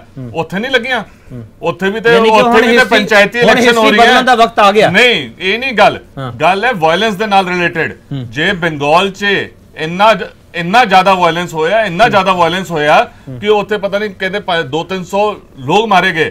ਔਰ ਉਹਦੇ ਬਾਅਦ ਉਹ ਗੱਲ ਸੁਪਰੀਮ ਕੋਰਟ ਤੱਕ ਸੁਪਰੀਮ ਕੋਰਟ ਤੱਕ ਗਈ ਹੈ। ਕਿਉਂਕਿ ਅਨਪ੍ਰੈਸੀਡੈਂਟਡ ਵਾਇਲੈਂਸ। ਹੋਇਆ। ਉੱਥੇ ਫੋਰਸਸ ਵੀ ਲੱਗੀਆਂ। ਠੀਕ ਹੈ ਜੱਸੇ ਸਿੰਘ ਜੱਸੇ ਸਿੰਘ। ਤੁਸੀਂ ਵੀ ਇਹ ਜਾ ਕੇ ਮੰਗ ਕੀਤੀ ਸੀਗੀ। ਤੁਸੀਂ ਬਹੁਤ ਬਹਿਸ ਕੀਤੀ ਹੈ ਅੰਦਰ ਚੋਣ ਕਮਿਸ਼ਨ ਕੋਲੇ। ਮੈਂ ਤਾਂ ਕਾਫੀ ਬਹਿਸ ਕੀਤੀ ਸੀਗੀ। ਉੱਥੇ ਦੋ ਇਹਨਾਂ ਦੇ ਸੀਨੀਅਰ ਆਗੂ ਸੀਗੇ। ਤੇ ਵੈਸੇ ਮੇਰੀ ਸਾਰੀ ਗੱਲਾਂ 'ਚ ਨਾ ਜੰਗਵੀਰ ਜੀ ਦਾ ਵੀ ਜਵਾਬ ਆ ਜਾਏਗਾ। ਮਤਲਬ ਮੈਂ ਇਹਨਾਂ ਨੂੰ ਕੰਟਰਡਿਕਟ ਨਹੀਂ ਕਰ ਰਿਹਾ ਪਰ ਜੰਗਵੀਰ ਜੀ ਉੱਥੇ ਉਹਨਾਂ ਦੇ ਸਭ ਤੋਂ ਵੱਡੇ ਅਫਸਰ ਨੇ ਸਾਡੇ ਸਾਹਮਣੇ ਆਪ ਹੀ ਕਹਿਤਾ ਕਿ ਮੈਂ ਕਿ ਉਹਨੇ ਮੀਡੀਆ ਨੂੰ ਇਜਾਜ਼ਤ ਨਹੀਂ ਦਿੱਤੀ ਹੋਈ ਅੰਦਰ ਵੜਨ ਦੀ। ਤੇ ਮੀਡੀਆ ਸਾਰਾ ਬਾਹਰ ਹੀ ਘੁੰਮਦਾ ਰਹਿੰਦਾ। ਮੈਂ ਤੁਹਾਡੀ ਗੱਲ ਨੂੰ ਕੰਟਰਡਿਕਟ ਨਹੀਂ ਕਰ ਰਿਹਾ ਬਟ ਇਜ਼ਾਫਾ ਕਰ ਰਿਹਾ ਤੁਹਾਡੀ ਗੱਲ 'ਚ। ਸੋ ਇਹ- ਤਾਂ ਰਹਿ ਗਿਆ ਵੀ ਨਹੀਂ ਮੈਂ ਤਾਂ ਆਪ ਮੰਨਦਾ ਹਾਂ। ਅਸੀਂ ਜਦੋਂ ਰਿਪਰੈਜ਼ੈਂਟੇਸ਼ਨ। ਦੇਣ ਗਏ ਸੀ ਮੈਨੂੰ ਹੀ ਵੜਨਾ ਔਖਾ ਹੋ ਗਿਆ ਸੀ। ਕਿਉਂਕਿ ਮੈਂ ਕਿਹਾ ਮੀਡੀਆ ਐਡਵਾਈਜ਼ਰ ਉਹਨਾਂ ਨੇ ਸੋਚਿਆ ਮੀਡੀਆ ਉਹ ਕਹਿੰਦੇ ਮੀਡੀਆ ਦਾ ਤਾਂ ਹੁਕਮ ਨਹੀਂ ਹੈ ਕਿ ਪੌੜੀ ਚੜ ਜਾਏ। ਮੀਡੀਆ ਤੋਂ ਡਰ ਕਿਉਂ ਲੱਗਣ ਲੱਗ ਪਿਆ? ਮੇਰਾ ਨਹੀਂ ਨਹੀਂ ਨਹੀਂ ਨਹੀਂ ਡਰ ਨਹੀਂ। ਉਹਨਾਂ ਕੋਲ ਜਵਾਬ ਹੀ ਨਹੀਂ ਹੈ। ਨਾ। ਹੁਣ ਮੈਂ ਉੱਥੇ ਇਹ ਦੋ ਵੱਡੇ ਅਫਸਰਾਂ ਬੈਠੇ ਹੋਏ ਉਹਨਾਂ ਨੂੰ ਪੁੱਛਿਆ। ਉਹਨਾਂ ਨੂੰ ਇਹ ਜਿਹੜੀਆਂ ਮੈਂ ਤੁਹਾਡੇ ਸਾਹਮਣੇ ਦੱਸੀਆਂ ਨਾ ਇਨਸੀਡੈਂਟਸ ਨੋਮੀਨੇਸ਼ਨ ਰਿਜੈਕਟ ਦੇ ਉਹ ਕਹਿੰਦੇ ਜੀ ਅਸੀਂ ਰਿਪੋਰਟ ਮੰਗਾ ਲਈ ਹੈ। ਫਿਰ ਇੱਕ ਤਾਂ ਪਹਿਲੀ ਗੱਲ ਉਹਨਾਂ ਦੇ ਅਫਸਰ ਸੁਣਦੇ ਨਹੀਂ ਬਿਲਕੁਲ ਵੀ ਨਹੀਂ। ਇਲੈਕਸ਼ਨ ਕਮਿਸ਼ਨ ਆਫ ਇੰਡੀਆ ਤੇ ਇਹਨਾਂ ਦੀ ਵਰਕਿੰਗ ਜ਼ਮੀਨ ਆਸਮਾਨ ਦਾ ਫ਼ਰਕ ਹੈ। ਆਪਣੀ ਗੱਲਾਂ ਮਾਰੀ ਜਾ ਰਹੇ ਮਾਰੀ ਜਾ ਰਹੇ ਆਪਣੀ ਗੱਲਾਂ ਕਰੀ ਜਾ ਰਹੇ ਪਤਾ ਨਹੀਂ ਕਿਹੜੀਆਂ ਕਹਾਣੀਆਂ 'ਚ ਡੁੱਬੇ ਹੋਏ। ਜਦੋਂ ਉਹਨਾਂ ਨੂੰ ਕਿਹਾ ਕਹਿੰਦੇ ਜੀ ਅਸੀਂ ਤਾਂ ਰਿਪੋਰਟ ਮੰਗਾ ਲਈ ਹੈ ਡੋਂਟ ਵਰੀ ਫਿਰ ਮੈਂ ਕਿਹਾ ਜੀ ਤੁਸੀਂ ਰਿਪੋਰਟ ਮੰਗਾ ਲਈ। ਰਿਪੋਰਟ ਤੁਹਾਡੇ ਕੋਲ ਕਦ ਤੱਕ ਆਏਗੀ? ਕਹਿੰਦੇ ਜੀ ਬਸ 2-4 ਦਿਨ ਚ ਆ ਜਾਏਗੀ। ਮੈਂ ਕਿਹਾ 2-4 ਦਿਨ ਚ ਆ ਜਾਏਗੀ ਤਦ ਤੱਕ ਤਾਂ ਚੋਣਾਂ ਹੋ ਜਾਣਗੀਆਂ। ਤੋ ਕੀ ਤੁਹਾਡੇ ਕੋਲ ਪਾਵਰ ਹੈ? ਜੇ ਜੇ ਕੋਈ ਅਣਗਹਿਲੀ ਹੋਈ ਕਿਸੇ ਉੱਥੇ ਆਰਓ ਦੀ ਕੀ ਤੁਸੀਂ ਦੁਬਾਰਾ ਚਾਂਸ ਦੋਗੇ ਸਾਨੂੰ ਪੇਪਰ ਭਰਨ ਦੇ? ਚੁੱਪ ਕਰਕੇ ਤੇ ਉਹਨਾਂ ਦਾ ਜਵਾਬ ਇਹ ਸੀਗਾ ਅਸੀਂ ਐਡਮਿਨਿਸਟ੍ਰੇਟਿਵ ਐਕਸ਼ਨ ਲਵਾਂਗੇ। ਮੈਂ ਮੈਂ ਕਿਹਾ ਐਡਮਿਨਿਸਟ੍ਰੇਟਿਵ ਐਕਸ਼ਨ ਤਾਂ ਤੁਸੀਂ ਕੀ ਕਰਨਾ ਜਦੋਂ ਚੋਣਾਂ ਹੋ ਗਈਆਂ? ਠੀਕ ਹੈ। ਠੀਕ ਹੈ। ਠੀਕ ਹੈ। ਠੀਕ ਹੈ। ਰਾਇਨ ਮਾਨ ਇਹ ਸਵਾਲ ਬੜਾ ਮਹੱਤਵਪੂਰਨ ਹੈਗਾ। ਸੂਬਾ ਚੋਣ ਕਮਿਸ਼ਨਰ ਨੇ ਕੀ ਕਰਨਾ ਹੈਗਾ ਤੇ ਉਹ ਕੀ ਕਰ ਰਿਹਾ ਹੈਗਾ? ਕੀ ਉਹ ਟੁੱਥਲੈਸ ਹੈ? ਜੀ ਬਿਲਕੁਲ ਇਹ ਦੇਖੋ ਜਿਹੜੀਆਂ ਜ਼ਿੰਮੇਵਾਰੀਆਂ ਜਦੋਂ ਇਲੈਕਸ਼ਨ ਦੀ ਜ਼ਿੰਮੇਵਾਰੀ ਆਉਂਦੀ ਆ ਸਰਕਾਰਾਂ ਚਾਹੇ ਕੋਈ ਵੀ ਮੈਂ ਕਹਾਂਗਾ ਕਾਂਗਰਸ ਜਾਂ ਕੋਈ ਵੀ ਸਰਕਾਰ ਹੁੰਦੀ ਆ ਪੋਲੀਟੀਕਲ ਸਿਸਟਮ ਸਾਡੇ ਇੰਨਾ ਕਿ ਵਿਗੜ ਚੁੱਕਾ ਕਿ ਇਹ ਧੱਕੇਸ਼ਾਹੀਆਂ ਤੇ ਜਿਹੜਾ ਇੱਕ ਲਫ਼ਜ਼ ਜਿਹੜਾ ਮੈਂ ਕਹਾਂਗਾ ਤੇ ਹੁਣ ਛੋਟਾ ਹੋ ਗਿਆ। ਪੰਜਾਬ ਦੇ ਵਿੱਚ ਇੱਕ ਆਮ ਗੱਲ ਹੋ ਗਈ ਆ ਕਿ ਧੱਕੇਸ਼ਾਹੀ ਹੋ ਗਈ, ਧੱਕੇਸ਼ਾਹੀ ਹੋ ਗਈ। ਕਿਉਂਕਿ ਸਿਸਟਮ ਹੀ ਨਹੀਂ ਰਿਹਾ ਕੋਈ ਵੀ ਇਸ ਕਰਕੇ ਇਹ ਇਹੋ ਜਿਹਾ ਟਾਈਮ ਜਿਹੜਾ ਆਉਂਦਾ ਵਾ, ਇਹ ਜਿਹੜਾ ਇਲੈਕਸ਼ਨ ਕਮਿਸ਼ਨ ਆ, ਉਹਨੂੰ ਜਿਹੜਾ ਉਹ ਸਖਤੀ ਨਾਲ ਆਪਣਾ ਰੋਲ ਅਦਾ ਕਰਨਾ ਚਾਹੀਦਾ। ਤਾਂ ਜੋ ਇਹ ਕਿਉਂਕਿ ਲੋਕਾਂ ਨੂੰ ਇੱਕ ਜੁਡੀਸ਼ਰੀ ਤੇ ਆਸ ਰਹਿ ਗਈ ਆ ਕਿਉਂਕਿ ਪੋਲੀਟੀਕਲ ਸਿਸਟਮ ਤੇ ਉਹਨਾਂ ਨੂੰ ਆਸ ਨਹੀਂ ਹੈਗੀ। ਜੁਡੀਸ਼ਰੀ ਵਾਲ ਮੂੰਹ ਚੁੱਕ ਵੇਂਦੇ ਕਿ ਸਹਿ ਸਾਨੂੰ ਇਨਸਾਫ ਮਿਲੇ। ਔਰ ਜਦੋਂ ਇਹ ਇਲੈਕਸ਼ਨ ਆਉਂਦੀ ਆ ਜਿਵੇਂ ਉਹਨਾਂ ਨੇ ਗੱਲ ਕੀਤੀ ਆ ਕਿ ਇਲੈਕਸ਼ਨ ਦੇ ਵਿੱਚ ਜੇ ਕੋਈ ਯੂਨੀਵਰਸਿਟੀ ਬਾਰੇ ਤਾਂ ਕਹਿ ਰਿਹਾ ਕੇਸ ਲਟਕਦੇ ਰਹਿੰਦੇ ਆ ਤਰੀਕਾ ਹਾਂ ਉਹੀ ਮੈਂ ਗੱਲ ਕਰ ਲਾਂ ਉਹੀ ਤੁਹਾਨੂੰ ਦੱਸ ਲਗਾ ਵੀ ਜਿਵੇਂ ਜਿਵੇਂ ਗੱਲ ਕੀਤੀ ਆ ਕਿ ਜੁਡੀਸ਼ਰੀ ਦੇ ਵਿੱਚ ਜੇ ਬੰਦਾ ਜਾਂਦਾ ਵਾ ਤੇ ਉਹਨੇ ਚਿਰ ਨੂੰ ਉਹਦੀ ਟਨਿਓਰ ਖਤਮ ਹੋ ਜਾਂਦੀ ਆ ਟਰਮ ਖਤਮ ਹੋ ਜਾਂਦੀ ਜਦੋਂ ਕੋਈ ਫੈਸਲਾ ਹੁੰਦਾ। ਤੇ ਕਈ ਵਾਰ ਉਹ ਉਹ ਵੀ ਨਹੀਂ ਹੁੰਦਾ ਫੈਸਲਾ। ਇਸ ਕਰਕੇ ਇਹ ਇੱਥੇ ਇਲੈਕਸ਼ਨ ਕਮਿਸ਼ਨ ਦੀ ਇੱਕ ਡਿਊਟੀ ਬਣਦੀ ਆ ਉਹਦਾ ਇਲੈਕਸ਼ਨ ਕਮਿਸ਼ਨ ਦਾ ਮਤਲਬ ਇਹ ਹੁੰਦਾ ਕਿ ਜਿਹੜੀ ਆ ਉਹ ਸਾਫ਼ ਸੁਥਰੀ ਜਿਹੜੀ ਆ ਉਹ ਇਲੈਕਸ਼ਨ ਕਰਾਈ ਜਾਵੇ ਉਹਨੂੰ ਆਪਣਾ ਰੋਲ ਅਦਾ ਕਰਨਾ ਚਾਹੀਦਾ ਤਾਂ ਜੋ ਪੋਲੀਟੀਕਲ ਪਾਰਟੀਆਂ ਜਿਹੜੀਆਂ ਕੋਈ ਵੀ ਆ ਉਹਨੂੰ ਉਹਨੂੰ ਕੁਛ ਨਾ ਕੁਛ ਉਹਨੂੰ ਵਿਸ਼ਵਾਸ ਹੋਵੇ ਕਿ ਹਾਂ ਜੇ ਅਸੀਂ ਇਲੈਕਸ਼ਨ ਪਰ ਨਾਲ ਦੀ ਨਾਲ ਮੈਂ ਇਹ ਕਹਾਂਗਾ ਕਿ ਪੋਲੀਟੀਕਲ ਪਾਰਟੀਆਂ ਜੇ ਅੱਜ ਜੇ ਉਹ ਸੱਤਾ ਤੋਂ ਬਾਹਰ ਨੇ ਉਹ ਕਹਿੰਦੀਆਂ ਨੇ ਇਲੈਕਸ਼ਨ ਕਮਿਸ਼ਨ ਕੁਝ ਨਹੀਂ ਕਰਦਾ। ਜਦੋਂ ਉਹ ਸੱਤਾ ਦੇ ਵਿੱਚ ਹੁੰਦੀਆਂ ਨੇ ਇਹ ਇਲੈਕਸ਼ਨ ਕਮਿਸ਼ਨ ਨੂੰ ਵੀ ਕਿਸੇ ਨਾ ਕਿਸੇ ਤਰੀਕੇ ਨਾਲ ਇਹ ਆਪਣੇ ਦਬਾਅ ਥੱਲੇ ਲਿਆਉਣ ਦੀ ਕੋਸ਼ਿਸ਼ ਕਰਦੀਆਂ ਨੇ ਤਾਂ ਜੋ ਉਹ ਆਪਣਾ ਜਿਹੜੀ ਹੈ ਮਨਮਰਜ਼ੀਆਂ ਕਰ ਸਕਣ। ਇਸ ਕਰਕੇ ਇਹਨਾਂ ਨੂੰ ਇਲੈਕਸ਼ਨ ਕਮਿਸ਼ਨ ਨੂੰ ਮੁਕਤ ਕਰਨਾ ਪਊਗਾ ਨਹੀਂ ਤੇ ਉਹਨਾਂ ਚਿਰ ਕੋਈ ਸੰਭਾਵਨਾ ਨਹੀਂ ਕਿਸੇ ਤਰ੍ਹਾਂ ਦੀ ਆਸ ਨਹੀਂ ਰੱਖੀ ਜਾ ਸਕਦੀ ਜਾਂ ਧੱਕੇਸ਼ਾਹੀਆਂ ਤੋਂ ਜਾਂ ਕਿਸੇ ਤੋਂ। ਠੀਕ ਹੈ। ਪੰਜਾਬ ਪੰਚਾਇਤੀ ਰਾਜ ਕਾਨੂੰਨ 1994 ਕਹਿੰਦਾ ਹੈਗਾ ਕਿ 29 ਮਹਿਕਮੇ ਆ ਜਿਹੜੇ ਉਹ ਪੰਚਾਇਤਾਂ ਨੂੰ ਦੇਣੇ ਆ ਸੰਮਤੀਆਂ ਨੂੰ ਦੇਣੇ ਹੈਗੇ ਆ ਉਹਨਾਂ ਬਾਰੇ ਕੋਈ ਸਵਾਲ ਨਹੀਂ ਕਰਦਾ। ਦੇਣੇ ਸਨ। ਕਿੰਨੇ ਦਿੱਤੇ? ਕੀ ਕੀਤਾ? ਪਿੰਡਾਂ ਦੇ ਵਿੱਚ ਵਿਕਾਸ ਕਿੰਨਾ ਹੋਇਆ? ਜਿਹੜੇ ਪਿੰਡਾਂ ਵਾਲਾ ਪੰਜਾਬ ਦੀ ਗੱਲ ਕਰਦੇ ਹੈਗੇ, ਉਹਨਾਂ ਨੇ ਪਿੰਡਾਂ ਦੀ ਸੁਣੀ ਕਿੰਨੀ ਹੈ ਕੀ ਹੈ। ਸਿਰਫ ਵੋਟਾਂ ਲੈਣ ਜਾਂਦੇ ਆ ਲੜ ਕੇ ਆ ਜਾਂਦੇ ਆ, ਹਿੰਸਾ ਕਰਵਾਉਂਦੇ ਆ, ਉਸ ਤੋਂ ਬਾਅਦ ਇੱਥੇ ਆ ਕੇ ਰੋਲਾ ਪਾ ਦਿੰਦੇ ਹੈਗੇ ਆ ਕਿ ਉਹਨਾਂ ਨੇ ਕੀਤਾ, ਉਹਨਾਂ ਨੇ ਕੀਤਾ। ਪਰ ਸਵਾਲ ਇਹ ਹੈਗਾ ਕਿ ਤੁਹਾਡਾ ਕੌਣ ਕੀ ਕਰੇਗਾ? ਤੁਹਾਡੇ ਵਿਕਾਸ ਦੇ ਲਈ ਤੁਹਾਡੇ ਮੁੱਦਿਆਂ ਦੀ ਗੱਲ ਕੌਣ ਕਰੇਗਾ? ਲੋਕਸ਼ਾਹੀ ਵਿੱਚ ਧੱਕੇਸ਼ਾਹੀ ਦੇ ਇਲਜ਼ਾਮ ਹੈ ਜਿਹੜੇ ਉਹ ਬੜੇ ਸੌਖੇ ਹੋ ਜਾਂਦੇ ਆ ਤੇ ਬੜੇ ਬੋਣੇ ਵੀ ਹੋ ਜਾਂਦੇ ਆ ਜਦੋਂ ਤੁਹਾਡੇ ਵਿਕਾਸ ਦੀ ਗੱਲ ਕੋਈ ਨਹੀਂ ਕਰ ਰਹੇ ਤੁਹਾਡੇ ਮੁੱਦਿਆਂ ਦੀ ਗੱਲ ਕੋਈ ਨਹੀਂ ਕਰਦਾ ਇਹ ਸਾਰੇ ਆਪਸ ਵਿੱਚ ਲੜੀ ਜਾਂਦੇ ਆ। ਬ੍ਰੇਕ ਤੋਂ ਵਾਪਸ ਆ ਰਹੇ ਜ਼ਿਲ੍ਹਾ ਪ੍ਰੀਸ਼ਦ ਤੇ ਬਲਾਕ ਸੰਮਤੀ ਚੋਣਾਂ ਮੌਕੇ ਸੁਰੱਖਿਆ ਦੀ ਜ਼ਿੰਮੇਵਾਰੀ ਕਿਸ ਦੇ ਹੱਥ ਹੋਵੇ? ਜਸਤੀਤ ਸਿੰਘ ਕਿਸ ਦੇ ਹੱਥ ਹੋਣੀ ਚਾਹੀਦੀ ਜ਼ਿੰਮੇਵਾਰੀ? ਜ਼ਿੰਮੇਵਾਰੀ ਤਾਂ ਜੋ ਇਸ ਲਈ ਸਟੇਟ ਇਲੈਕਸ਼ਨ ਕਮਿਸ਼ਨ ਦਾ ਕੰਡਕਟ ਹੈ। ਮੈਂ ਕਹਿੰਦਾ ਇੰਟੈਂਸ਼ਨਲ ਕੰਡਕਟ ਲੱਗਿਆ ਮੈਨੂੰ ਤਾਂ। ਉਸ ਹਿਸਾਬ ਨਾਲ ਤਾਂ ਇਹ ਨੋਮੀਨੇਟ ਕਰ ਦੇਣ ਉਹ ਜ਼ਿਆਦਾ ਬੈਟਰ ਹੈ। ਘੱਟੋ ਘੱਟ ਜਿਹੜੀ ਇਹ ਧੱਕੇਸ਼ਾਹੀ ਹੈ ਜਿਹੜਾ ਮਰਡਰਸ ਹੋ ਰਹੇ ਹੈ ਜਿਹੜੀ ਗੋਲੀਆਂ ਚੱਲ ਰਹੀਆਂ ਜਿਹੜੀ ਇਹ ਤੋੜ ਭੰਨ ਹੋ ਰਹੀ ਹੈ ਸਰੇਆਮ ਐਂਡ ਜੋ ਜਮਹੂਰੀਅਤ ਦਾ ਨੁਕਸਾਨ ਹੋ ਰਿਹਾ ਉਹਦਾ ਗਲਾ ਦਬਾਇਆ ਜਾ ਰਿਹਾ। ਤੁਸੀਂ ਮਰਡਰ ਦੀ ਗੱਲ ਕੀਤੀ ਹੈ ਹਰਵਿੰਦਰ ਸਿੰਘ ਹਿੰਦਾ ਦੀ ਗੱਲ ਕਰ ਰਹੇ ਹੋ ਨਾ ਤੁਸੀਂ। ਮਰਡਰ ਜਮਹੂਰੀਅਤ ਦਾ ਵੀ ਤੇ ਹਿੰਦਾ ਉਹਦਾ ਵੀ ਹਰਵਿੰਦਰ ਸਿੰਘ ਹਿੰਦਾ। ਦਾ ਮਰਡਰ ਹੈ ਜਿਹੜਾ। ਉਹਦਾ ਵੀ ਮੈਂ ਜਮਹੂਰੀਅਤ ਦੀ ਗੱਲ ਕੀਤੀ ਹੈ। ਮੈਂ ਠੀਕ ਹੈ ਉਸੇ ਉਸੇ ਸਵਾਲ ਮੈਂ ਲਿਆ ਰਿਹਾ ਕਿਉਂਕਿ ਤੁਸੀਂ ਉਹ ਮੁੱਦਾ ਵੀ ਜਾ ਕੇ ਉੱਥੇ ਟੇਕ ਅਪ ਕੀਤਾ ਹੈਗਾ। ਮੇਰਾ ਸਵਾਲ ਹੈਗਾ ਹਰਵਿੰਦਰ ਸਿੰਘ ਹਿੰਦਾ ਦਾ ਕਤਲ ਹੈ। ਇਹਨਾਂ ਚੋਣਾਂ ਨਾਲ ਜੋੜ ਕੇ ਦੇਖਿਆ ਜਾਵੇ। ਦੇਖੋ ਇਸ ਵੇਲੇ ਇਨਵੈਸਟੀਗੇਸ਼ਨ ਪੈਂਡਿੰਗ ਹੈ ਬਟ ਹਾਂ ਹਜੇ ਤੱਕ ਜੋ ਆ ਰਹੀ ਹੈ ਰਿਪੋਰਟਸ ਉਹਦੇ ਨਾਲ ਹੀ ਪਤਾ ਲੱਗਦਾ। ਠੀਕ ਹੈ ਨਾ? ਕਿਉਂਕਿ ਤੁਸੀਂ ਸਿਆਸੀ ਹਾਂ, ਕਿਹਾ। ਮੈਂ ਮੈਂ ਮੈਂ ਉਹੀ ਕਿਹਾ ਨਾ ਕਿ ਵੀ ਮੈਂ ਜਮਹੂਰੀਅਤ ਦਾ ਕਿਹਾ ਸੀਗਾ। ਮਰਡਰ ਨਹੀਂ ਤੁਸੀਂ ਉੱਥੇ ਇਲੈਕਸ਼ਨ ਕਮਿਸ਼ਨ ਕੋਲੇ ਵੀ ਇਹ ਗੱਲ ਕਹੀ ਹੈ। ਕਿ ਸਿਆਸੀ ਕਤਲ ਕੀਤਾ ਗਿਆ। ਨਹੀਂ ਉੱਥੇ ਤੁਸੀਂ ਬਾਹਰ ਆ ਕੇ ਜਿਹੜੇ ਮੀਡੀਆ ਨੂੰ ਬਾਈਟ ਦਿੱਤੀ ਹੈ ਕਿਉਂਕਿ ਮੀਡੀਆ ਨੂੰ ਤਾਂ ਉੱਥੇ ਜਾਣ ਨਹੀਂ ਦਿੱਤਾ ਯਾਰ। ਨਹੀਂ ਉੱਥੇ ਜੋ ਡਿਮਾਂਡਸ ਰੱਖੀਆਂ ਅਸੀਂ ਦੋ ਸਪੈਸੀਫਿਕ ਡਿਮਾਂਡਸ ਰੱਖੀਆਂ ਸੀਗੀਆਂ। ਦੇਖੋ, ਬਾਗੇ ਪੁਰਾਣੇ ਦੇ ਵਿੱਚ ਇਹਨਾਂ ਦੇ ਦਰਸ਼ਨ ਬਰਾੜ ਐਮਐਲਏ ਨੇ ਸਾਡੇ ਉੱਥੇ ਕੈਂਡੀਡੇਟ ਨੂੰ ਨਾਲ ਸਰੇਆਮ ਧੱਕਾ ਕੀਤਾ 100 ਬੰਦੇ ਨੇ ਮਿਲ ਕੇ ਉਹਦੇ ਨਾਲ ਬਹੁਤ, ਮਤਲਬ ਉੱਥੇ ਮਾਰਕੁੱਟ ਕੀਤੀ। ਉਹਦੇ ਬਾਵਜੂਦ ਤੁਸੀਂ ਦੇਖੋ ਕੇਪੀ ਜੀ, ਐਫ ਆਈ ਆਰ ਤੱਕ ਨਹੀਂ ਹੋਈ। ਐਫ ਆਈ ਆਰ ਨਹੀਂ ਹੈ। ਐਂਡ ਹਿੰਦਾ ਦਾ ਜਿਹੜਾ ਮਰਡਰ ਹੋਇਆ, ਉਸ ਤੋਂ ਬਾਅਦ ਕੋਈ ਅਰੈਸਟ ਹੀ ਨਹੀਂ ਅਜੇ ਤੱਕ। ਠੀਕ ਹੈ ਨਾ? ਇਹ ਦੋ ਗੱਲਾਂ ਦੇਖੋ ਨਹੀਂ ਹਿੰਦਾ ਦੇ ਮਰਡਰ ਨੂੰ ਇਹਨਾਂ ਚੋਣਾਂ ਨਾਲ ਜੋੜ ਕੇ ਦੇਖਿਆ ਜਾਵੇ ਕਿ ਨਾ ਦੇਖਿਆ ਜਾਵੇ। ਮੇਰਾ ਸਵਾਲ ਬੜਾ ਸਿੰਪਲ ਹੈ। ਤੁਹਾਡੀ ਪ੍ਰੈਸ ਰਿਲੀਜ਼ ਦੇ ਵਿੱਚ ਤੁਸੀਂ ਲਿਖਿਆ ਕਿ ਚੋਣ ਕਮਿਸ਼ਨ ਆਪਣੀ ਸੰਵਿਧਾਨਕ ਜ਼ਿੰਮੇਵਾਰੀ ਨਿਭਾਉਣ ਵਿੱਚ ਪੂਰੀ ਤਰ੍ਹਾਂ ਫੇਰ ਰਿਹਾ ਤੇ ਹਿੰਦਾ ਦੇ ਕਾਤਲਾਂ ਨੂੰ ਗ੍ਰਿਫਤਾਰ ਨਹੀਂ ਕੀਤਾ ਗਿਆ। ਇਹ ਤੁਹਾਡੀ ਪ੍ਰੈਸ ਰਿਲੀਜ਼ ਦੇ ਵਿੱਚ ਲਿਖੀ ਗੱਲ ਹੈ। ਫਿਰ ਤਾਂ ਤੁਸੀਂ ਇਹਨੂੰ ਜੋੜ ਰਹੇ ਹੋ ਨਾ? ਮੈਂ ਤਾਂ ਸਵਾਲ ਹੀ ਉਹ ਕਰ ਰਿਹਾ। ਦੇਖੋ ਜੋ ਵੀ ਲਾਅ ਐਂਡ ਆਰਡਰ ਦੀ ਸਿਚੁਏਸ਼ਨ ਆਂਦੀ ਹੈ ਉਹ ਇਲੈਕਸ਼ਨ ਕਮਿਸ਼ਨ ਦੇ ਸਿਰ ਤੇ ਆਂਦੀ ਆਂਦੀ ਹੈ ਠੀਕ ਹੈ? ਹੁਣ ਇਹਦੇ ਚ ਅਸੀਂ 7 ਤਰੀਕ ਨੂੰ ਦੇਖਿਆ ਇੱਕ ਰਿਪਰੈਜ਼ੈਂਟੇਸ਼ਨ ਜਿਹਦੇ ਚ ਅਸੀਂ ਬਾਗੇ ਪੁਰਾਣੇ ਤੇ ਨੌਸ਼ੇਰਾ ਬਾਰੇ ਗੱਲ ਕੀਤੀ। ਠੀਕ ਹੈ ਉੱਥੇ ਜੋ ਇਨਸੀਡੈਂਟਸ ਹੋਏ। ਉਹਦੇ ਬਾਰੇ ਸਟੇਟ ਇਲੈਕਸ਼ਨ ਕਮਿਸ਼ਨ ਚੁੱਪ ਹੋ ਗਿਆ। ਅਸੀਂ ਇੱਕ ਤਾਂ ਉਹ ਯਾਦ ਕਰਾਇਆ ਕੱਲ ਜਾ ਕੇ ਕਿ ਵੀ ਤੁਸੀਂ ਉਹ ਜਿਹੜੀ ਪਹਿਲਾਂ ਅਸੀਂ ਤੁਹਾਨੂੰ ਦਰ- ਦਰ- ਦਰਖਾਸਤ ਦਿੱਤੀ ਸੀਗੀ ਉਹਦੇ ਉੱਪਰ ਕੋਈ ਕਾਰਵਾਈ ਕੀਤੀ? ਕਹਿੰਦੇ ਨਹੀਂ ਜੀ ਕੋਈ ਹਜੇ ਤੱਕ ਕੁਝ ਵੀ ਨਹੀਂ ਹੋਇਆ। ਹੁਣ ਇਹ ਮਰਡਰ ਜਿਹੜਾ ਹੋਇਆ ਉਹਦੇ ਵਿੱਚ ਪੁਲਿਸ ਤੋਂ ਰਿਪੋਰਟ ਕੋਈ ਮੰਗਾਈ? ਕੋਈ ਰਿਪੋਰਟ ਨਹੀਂ ਮੰਗਾਈ ਇਹਨਾਂ ਨੇ ਹਜੇ ਤੱਕ। ਜਸਤੇਜ ਸਿੰਘ ਮੈਂ ਸਵਾਲ ਸਿੱਧਾ ਕਰ ਦਿੰਦਾ। ਕੀ ਹਿੰਦਾ ਦਾ ਪਰਿਵਾਰ ਵੀ ਇਹ ਗੱਲ ਕਹਿ ਰਿਹਾ ਜੋ ਤੁਸੀਂ ਕਹਿ ਰਹੇ ਹੋ? ਦੇਖੋ ਹਿੰਦਾ ਦਾ ਪਰਿਵਾਰ ਜੋ ਸਟੇਟਮੈਂਟ ਹਜੇ ਤੱਕ ਉਹਦੀ ਵਾਈਫ ਤੋਂ ਆਈ ਹੈ ਉਹ ਇਹ ਆਈ ਹੈ ਕਿ ਤਿੰਨ ਜਣਿਆਂ ਦੇ ਨਾਲ ਰਾਤ ਨੂੰ ਉਹਨਾਂ ਨੇ ਥੱਲੇ ਬੈਠ ਕੇ ਡਿਨਰ ਕੀਤਾ ਸੀਗਾ ਤੇ ਉਹਨੇ ਆਪਣੀ ਵਾਈਫ ਨੂੰ ਫੋਨ ਕਰਕੇ ਕਿਹਾ ਸੀਗਾ ਕਿ ਵੀ ਥੱਲੇ ਆਉਣ ਦੀ ਲੋੜ ਨਹੀਂ ਤੁਸੀਂ ਉੱਪਰ ਉੱਪਰ ਹੀ ਰਹੋ। ਤੇ ਜਦੋਂ ਉਹਨੇ ਸਵੇਰੇ ਜਾ ਕੇ ਦੇਖਿਆ ਕਿ ਤਿੰਨ ਬੰਦੇ ਗਾਇਬ ਸੀਗੇ ਤੇ ਉਹਦਾ ਮਰਡਰ ਹੋਇਆ ਸੀਗਾ ਠੀਕ ਹੈ। ਹੁਣ ਸਿਆਸੀ ਇਹਦੇ ਉੱਪਰ ਮੈਂ ਕੋਈ ਟਿੱਪਣੀ ਐਵੇਂ ਮੈਂ ਲੂਜ਼ ਟਾਕ ਨਹੀਂ ਕਰਦਾ। ਇਹ ਇਹ ਇਹ ਤੁਸੀਂ ਕਦੀ ਵੀ ਦੇਖ ਲਿਓ। ਇਹਦਾ ਮਤਲਬ ਜਿਹੜੇ ਤੁਸੀਂ ਪਹਿਲਾਂ ਬਿਆਨ ਦਿੱਤੇ ਸੀ ਉਹਨਾਂ ਬਿਆਨਾਂ ਤੋਂ ਪਾਸੇ ਹੋ ਗਏ ਹੋ ਬਿਲਕੁਲ ਵੀ ਨਹੀਂ ਹੋਏ। ਕਿਉਂ ਹੋਏ? ਤੁਸੀਂ ਦੇਖੋ ਉਹਦੇ 'ਚ ਇਹ ਲਿਖਿਆ ਹੋਇਆ ਕਿ ਪੋਲਿਟਿਕਲੀ ਕਾਂਗਰਸ ਨੇ ਮਰਡਰ ਕਰਵਾਇਆ। ਤੁਹਾਡੇ ਤੁਹਾਡੇ ਬੰਦੇ ਤੁਹਾਡੇ ਲੀਡਰ ਬਿਆਨ ਦੇ ਰਹੇ ਆ ਤੁਹਾਡੇ ਲੀਡਰ ਬਿਆਨ ਦੇ ਰਹੇ ਸਰ ਆ ਤੁਸੀਂ ਬਿਆਨ ਦੁਬਾਰਾ ਤੁਹਾਡੇ। ਲੀਡਰ ਬਿਆਨ ਦੇ ਰਹੇ ਆ ਤੁਸੀਂ ਦੁਬਾਰਾ ਬਿਆਨ ਦੇਖ ਲਓ। ਜਸਤੇਜ ਸਿੰਘ ਤੁਹਾਡੇ ਲੀਡਰ ਬਿਆਨ ਦੇ ਰਹੇ ਮੈਂ ਤਾਂ ਸਵਾਲ ਹੀ ਤੁਹਾਡੇ ਲੀਡਰਾਂ ਦੇ ਬਿਆਨ ਤੇ ਕੀਤਾ ਹੈ। ਮੈਂ ਵਿਰੋਧੀ ਪਾਰਟੀ ਦੇ ਬਿਆਨ ਦੀ ਗੱਲ ਨਹੀਂ ਕਰ ਤੁਹਾਡੇ ਲੀਡਰ ਬਿਆਨ ਦੇ ਰਿਹਾ ਕਿ ਸਿਆਸੀ ਕਤਲ ਹੋਇਆ। ਸਿਆਸੀ ਕਤਲ ਤੁਸੀਂ ਦੁਬਾਰਾ ਦੇਖ ਲਓ। ਮੈਂ ਤਾਂ ਬਹੁਤ ਵਾਰੀ ਸੁਣਿਆ ਹੋਈ। ਸਿੰਘ ਤੁਸੀਂ ਹਾਂ। ਸੁਣੋ। ਹਾਂ। ਤੁਸੀਂ ਆਪਣੇ ਲੀਡਰ ਦੀ ਗੱਲ ਸੁਣੋ ਉਹ ਕਹਿੰਦੇ ਸਿਆਸੀ ਕਤਲ ਹੋਇਆ। ਕੇਪੀ ਜੀ ਇਹ ਬੜੀ ਪ੍ਰੋਬਲਮ ਹੈ। ਤੁਸੀਂ ਇੱਕ ਚੀਜ਼ ਦੇ ਪਿੱਛੇ ਪੈਨੇ ਹੋ ਨਾ ਤਾਂ ਤੁਸੀਂ ਆਪਣੀ ਸਵਾਲ ਦਾ ਜਵਾਬ ਜੇ ਨਹੀਂ। ਮਿਲੂਗਾ ਤਾਂ ਮੈਂ ਕਿਵੇਂ ਅੱਗੇ ਵੱਧ ਮੈਂ ਜਾਵਾਂ? ਤੁਹਾਨੂੰ ਅਜੇ ਤੁਸੀਂ ਹੁਣ ਇਹ ਪ੍ਰੈਸ ਨੋਟ ਪੜਿਆ ਹਾਂ, ਦੁਬਾਰਾ ਪੜ੍ਹ ਲਓ। ਪੜ੍ਹਿਆ, ਮੈਂ ਦੁਬਾਰਾ ਕਿੰਨੀ ਵਾਰੀ ਪੜ੍ਹ ਚੁੱਕਿਆ ਮੈਂ, ਮੇਰੇ ਕੋਲ ਹੈ। ਤੁਸੀਂ ਤੁਸੀਂ ਇੱਕ ਵਾਰੀ ਦੁਬਾਰਾ ਪੜ੍ਹ ਲਓ।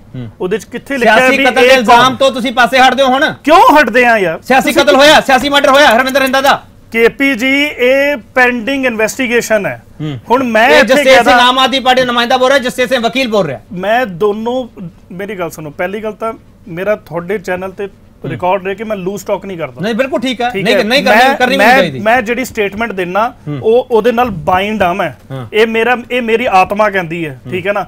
ਇਸ ਕਰਕੇ ਮੈਂ ਇਸ ਸਟੇਜ ਤੇ ਆ ਕੇ ਤੁਹਾਨੂੰ ਹਰਵਿੰਦਰ ਸਿਆਸੀ ਮਰਡਰ ਨਹੀਂ ਹੋਇਆ? ਨਹੀਂ ਆਈ ਕੈਨ ਨਾਟ ਸੇ ਨਾ। It is pending investigation. ਮੇਰੀ ਗੱਲ ਸੁਣੋ ਇੱਥੇ ਮੈਂ ਬ੍ਰਾਊਨੀ ਪੁਆਇੰਟਸ ਕਮਾਣੇ ਹੋਣ। ਮੈਂ 2 ਮਿੰਟ ਕਹਿੰਦਾ ਕਿ ਕਾਂਗਰਸੀਆਂ ਨੇ ਕਰਵਾਇਆ। ਐਂਡ ਕੱਲ ਨੂੰ ਉਹ ਨਾ ਨਿਕਲੇ। ਮੈਂ ਆਪ ਸ਼ਰਮਸਾਰ ਹੋਊਂਗਾ ਮੇਰਾ ਮੇਰਾ ਕੋਈ ਬਾਲ ਵੀ ਨਹੀਂ ਵਿੰਗਾ ਹੋਣਾ ਇੱਕ ਲੂਜ਼ ਟਾਕ ਕਰਨ ਤੇ। ਬਟ ਮੈਨੂੰ ਆਪਣੇ ਆਪ ਨੂੰ ਚੰਗਾ ਨਹੀਂ ਲੱਗੇਗਾ ਵੀ ਮੈਂ ਇੱਕ ਨੁਮਾਇੰਦਾ ਹੋ ਕੇ ਪਾਰਟੀ ਦਾ ਗਲਤ ਸਟੇਟਮੈਂਟ ਦੇ ਰਿਹਾ। ਠੀਕ ਹੈ। ਠੀਕ ਸਰ- ਹੈ ਇਟ ਇਜ਼ ਪੈਂਡਿੰਗ ਇਨਵੈਸਟੀਗੇਸ਼ਨ। ਪਤਾ ਲੱਗੇਗਾ ਵੀ ਕਿਵੇਂ ਸਰਜੀਤ। ਸਿੰਘ ਸਰਜੀਤ ਸਿੰਘ ਸੋਇਆ ਚੋ। ਤੁਸੀਂ ਜਸੇਜ ਸਿੰਘ ਦੀ ਇਸ ਬਿਆਨ ਦਾ ਵੈਲਕਮ ਕਰਦੇ ਹੋ? ਕਿ ਜਸੇਜ ਸਿੰਘ ਨੇ ਇਹ ਗੱਲ ਕਹੀ ਹੈ ਕਿ ਹਜੇ ਵੇਟ ਕਰਨੀ ਚਾਹੀਦੀ ਹੈ? ਨਹੀਂ ਨਹੀਂ ਦੇਖੋ ਜਿੱਥੋਂ ਤੱਕ ਹਰਿੰਦਰ ਸਿੰਘ ਹਿੰਦਾ ਦੇ ਕਤਲ ਦੀ ਗੱਲ ਹੈ ਨਾ ਜੀ। ਬਹੁਤ ਹੀ ਘਿਨਾਉਣੀ ਹਰਕਤ ਹੈਗੀ ਇਹ ਜਿਹਨੇ ਵੀ ਕੀਤਾ ਉਹਨੂੰ ਜਿਹੜਾ ਹੈਗਾ ਸਜ਼ਾ ਪੂਰੀ ਮਿਲਣੀ ਚਾਹੀਦੀ ਹੈ। ਲੇਕਿਨ ਇਸ ਸਟੇਜ ਤੇ ਜੇ ਤਫਤੀਸ਼ ਸ਼ੁਰੂ ਹੋਈ ਹੈ ਤਫਤੀਸ਼ ਚੱਲਣੀ ਹੈ ਕਿਹਨੇ ਕੀਤਾ ਕਿਵੇਂ ਲਿੰਕ ਹੁੰਦਾ ਹੈ ਇਹਦੇ ਬਾਰੇ ਕੋਈ ਵੀ ਟਿੱਪਣੀ ਕਰਨੀ ਮੈਂ ਸਮਝਦਾ ਵਾਜਬ ਤੁਹਾਡੇ ਲੀਡਰ ਤੁਸੀਂ। ਇੱਥੇ ਆਏ ਕੁਝ ਹੋਰ ਕਹਿੰਦੇ ਤੁਹਾਡੇ ਲੀਡਰ ਕੁਝ ਹੋਰ ਕਹਿੰਦੇ ਆ। ਨਹੀਂ ਦੇਖੋ ਜਿਹੜਾ ਵੀ ਲੀਡਰ ਵਿੱਚ ਜਾਤੀ ਬਿਆਨ ਕੋਈ ਵੀ ਦੇਵੇ ਮੈਂ ਪਰ ਮੈਂ ਬਤੌਰ ਪਾਰਟੀ ਦਾ ਜਿਹੜਾ ਸਪੋਕਸਪਰਸਨ ਹੈਗਾ ਮੈਂ ਇਸ ਗੱਲ ਬੜੀ ਜ਼ਿੰਮੇਵਾਰੀ ਨਾਲ ਕਰਨਾ ਹੈ ਕਿ ਕਤਲ ਬੜੀ ਘਿਨਾਉਣੀ ਹਰਕਤ ਹੈਗੀ ਹੈ ਲੇਕਿਨ ਅਜੇ ਇਸ ਤੇ ਕੋਈ ਟਿੱਪਣੀ ਕਰਨੀ ਕਿ ਕਿਵੇਂ ਹੋਇਆ ਕਿਵੇਂ ਕਰਵਾਇਆ ਇਹ ਹੈ। ਵਾਜਬ ਨਹੀਂ ਹੋਏਗਾ। ਚੰਗੀ ਗੱਲ ਹੈ। ਜੰਗਲੀ ਸਿੰਘ ਤੁਸੀਂ ਇਸ ਇਸ ਮਰਡਰ ਨੂੰ ਕਿਸ ਤਰੀਕੇ ਨਾਲ ਦੇਖਦੇ ਹੋ? ਦੇਖੋ ਜੀ ਅਜੇ ਤੇ ਹੁਣ ਮੈਂ ਤੇ ਖਬਰਾਂ ਪੜੀਆਂ ਸਿਰਫ ਅਖਬਾਰਾਂ 'ਚ। ਤੇ ਜਿਹੜੇ ਮੀਡੀਆ 'ਚ ਜੇ ਕਲੈਰਿਟੀ ਨਹੀਂ ਹੋਈ ਹੈ। ਕਿਉਂਕਿ ਇਹ ਕੋਈ ਮਿਸਟੀਰੀਅਸ ਸਰਕਮਸਟੈਂਸਸ ਨੇ। ਕੋਈ ਕਹਿ ਰਹੇ ਨੇ ਕਿ ਉਹਨਾਂ ਦੇ ਦੋਸਤ ਨੇ। ਕੋਈ ਕੁਝ ਕਹਿ ਰਿਹਾ ਹੈ। ਤਾਂ ਇਸ ਕਰਕੇ ਆਪਾਂ ਨੂੰ ਥੋੜੇ ਦਿਨ ਵੇਟ ਕਰ ਲੈਣਾ ਚਾਹੀਦਾ ਕਿ ਜੋ ਵੀ ਗੱਲ ਹੈ ਉਹ ਕਲੈਰਿਟੀ ਆ ਜਾਏ। ਠੀਕ ਹੈ। ਰਾਜਨਮਾਨ ਇਹਦਾ ਮਤਲਬ ਹੁਣ ਸਿਆਸੀ ਪਾਰਟੀਆਂ ਨੂੰ ਸਮਝ ਆ ਗਿਆ ਕਿ ਬਿਆਨ ਆ ਜਿਹੜਾ ਉਹ ਕਿਸ ਤਰੀਕੇ ਦੇਣਾ ਹੈਗਾ।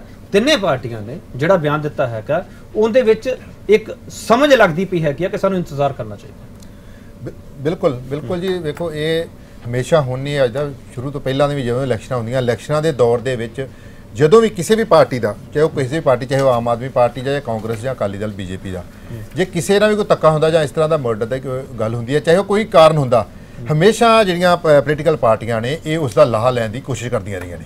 ਉਹਨੂੰ ਇੱਕ ਇਸ਼ੂ ਬਣਾ ਕੇ ਲੋਕਾਂ ਦੇ ਵਿੱਚ ਮਤਲਬ ਕਿ ਲੋਕਾਂ ਲੋਕਾਂ ਦੀ ਸਿੰਪਤੀ ਲੈਣ ਲਈ ਕਿ ਜਾਂ ਦੂਸਰੀ ਪਾਰਟੀ ਦੇ ਉੱਤੇ ਉਹਨਾਂ ਕੋਈ ਇੱਕ ਟਾਰਗੇਟ ਬਣ ਜਾਂਦਾ ਪਾਰਟੀ ਕਿ ਇਹ ਵੇਖੋ ਜੀ ਇਸ ਪਾਰਟੀ ਨੇ ਧੱਕਾ ਕੀਤਾ। ਇਹ ਬਹੁਤ ਚੰਗੀ ਗੱਲ ਹੈ ਜੇ ਇਸ ਤਰ੍ਹਾਂ ਦੀ ਪਿਰਤੇ ਨਾ ਪੋਲੀਟੀਕਲ ਸਿਸਟਮ ਦੇ ਵਿੱਚ ਆ ਜੇ ਜੇ ਇਹ ਲੋਕ ਜਿਹੜੇ ਸਿਆਸੀ ਲੋਕ ਇਹ ਸਮਝਣ ਲੱਗ ਜਾਣ ਕਿ ਗਲਤ ਤੇ ਚੰਗਾ ਸੀ। ਗਲਤ ਤੇ ਸਹੀ ਜਿਹੜਾ ਇਹ ਦੋਵਾਂ ਚੀਜ਼ਾਂ ਨੂੰ ਜੇ ਸਮਝਣ ਦੇ ਇਹਦਾ ਫ਼ਰਕ ਸਮਝਣ ਲੱਗ ਜਾਣ ਤੇ ਬੜੀ ਪੰਜਾਬ ਦੇ ਲੋਕਾਂ ਲਈ ਇੱਕ ਬੜੀ ਚੰਗੀ ਗੱਲ ਹੋਊਗੀ। ਇਸ ਕਰਕੇ ਇਹਨਾਂ ਨੂੰ ਜੇ ਇਹ ਸਮਝ ਲੱਗ ਰਹੀ ਆ ਤੇ ਮੈਂ ਕਹਾਂਗਾ ਇੱਕ ਚੰਗੀ ਗੱਲ ਹੈ ਇਹਨੂੰ ਪੋਲੀਟੀਕਲ ਇਸ਼ੂ ਨਹੀਂ ਬਣਾਉਣਾ ਚਾਹੀਦਾ। ਠੀਕ ਹੈ ਜਸਵੀਰ ਸਿੰਘ ਮੈਂ ਤੁਹਾਡੇ ਤੋਂ ਸਵਾਲ ਲਵਾਂ। ਸਵਾਲ ਦੇ ਨਾਲ ਮੈਂ ਤੁਹਾਨੂੰ ਇੱਕ ਵਾਰ ਫਿਰ ਮੈਂ ਰਿਪੀਟ ਕਰ ਦਿੰਦਾ ਉਹ ਗੱਲ ਨੂੰ ਕਿ ਡਾਕਟਰ ਬਲਵੀਰ ਸਿੰਘ ਨੇ ਇਸ ਹਰਪਾਲ ਸਿੰਘ ਚੀਮਾ ਤੇ ਡਾਕਟਰ ਬਲਵੀਰ ਸਿੰਘ ਨੇ ਕਿਹਾ ਕਿ ਆਪ ਦੇ ਉਮੀਦਵਾਰਾਂ ਤੋਂ ਬੁਖਲਾਟ ਚਾਹੀ ਸੱਤਾਧਾਰੀ ਕਾਂਗਰਸ ਆਪ ਦੇ ਉਮੀਦਵਾਰਾਂ ਨੂੰ ਧਮਕੀਆਂ ਨਹੀਂ ਕਤਲ ਕਰਨ ਤੱਕ ਜਾ ਪਹੁੰਚੀ ਹੈ। ਇਹ ਪ੍ਰੈਸ ਰਿਲੀਜ਼ ਦੇ ਵਿੱਚ ਗੱਲ ਲਿਖੀ ਹੋਈ ਹੈ। ਇਹ ਇਹ ਗੱਲ ਤੁਸੀਂ ਆਪਣੇ ਪਾਰਟੀ ਫਾਰਮ ਤੇ ਵੀ ਜਾ ਕੇ ਕਰੋ ਕਿ ਅਸੀਂ ਜਿਹੜੇ ਬਿਆਨ ਦੇ ਰਹੇ ਹਾਂ ਕਿਵੇਂ ਦੇ ਰਹੇ ਹਾਂ। ਤੁਸੀਂ ਇੰਗਲਿਸ਼ ਦਾ ਪ੍ਰੈਸ ਨੋਟ ਜਿਹੜਾ ਪੜਿਆ ਹੈ, ਉਹ ਤੁਸੀਂ ਬਿਲਕੁਲ ਵੱਖਰਾ ਪੜਿਆ ਠੀਕ ਹੈ। ਮੈਂ ਇੱਕ ਹੀ ਪ੍ਰੈਸ ਰਿਲੀਜ਼ ਹਾਂ, ਇਹ- ਇਹ ਜਿਹੜਾ ਹੁਣ ਤੁਸੀਂ ਪੰਜਾਬੀ ਦਾ ਪੜ੍ਹ ਰਹੇ ਹੋ, ਉਹ ਬਿਲਕੁਲ ਵੱਖਰਾ ਹੈ। ਮੇਰੇ ਕੋਲ ਇੱਕ ਹੀ ਹੈ। ਪ੍ਰੈਸ ਰਿਲੀਜ਼ ਪੰਜਾਬੀ ਵਾਲਾ ਪ੍ਰੈਸ ਰਿਲੀਜ਼ ਹੈ। ਮੈਂ ਪੰਜਾਬੀ ਦਾ ਹੀ। ਪ੍ਰੋਗਰਾਮ ਕਰ ਰਿਹਾ। ਤੁਸੀਂ ਇਸ ਤੋਂ ਪਹਿਲਾਂ ਇੰਗਲਿਸ਼ ਦਾ ਪੜਿਆ ਨਹੀਂ ਮੈਂ ਪੰਜਾਬੀ ਦੇ ਪੜਿਆ ਪੰਜਾਬੀ ਵਿੱਚ ਵੀ ਲਾਈਨ ਲਿਖੀ ਹੋਈ ਹੈ। ਦੋ ਵਾਰੀ ਲਿਖੀ ਹੋਈ ਹੈ। ਹਾਂ। ਦਿਖਾਓ ਇੱਕ ਵਾਰੀ ਮੈਂ ਹਾਂ ਦੇਖਾਂ। ਲਓ ਦੇਖ ਲਓ। ਕਿਉਂਕਿ ਮੈਂ ਤੱਥਾਂ ਆਧਾਰ ਤੇ ਡਿਬੇਟ ਕਰਦਾ। ਥੱਲੇ ਵੀ ਲਾਈਨ ਲਿਖੀ ਹੋਈ ਹੈ ਉੱਪਰ ਵੀ ਲਿਖੀ ਹੋਈ ਹੈ।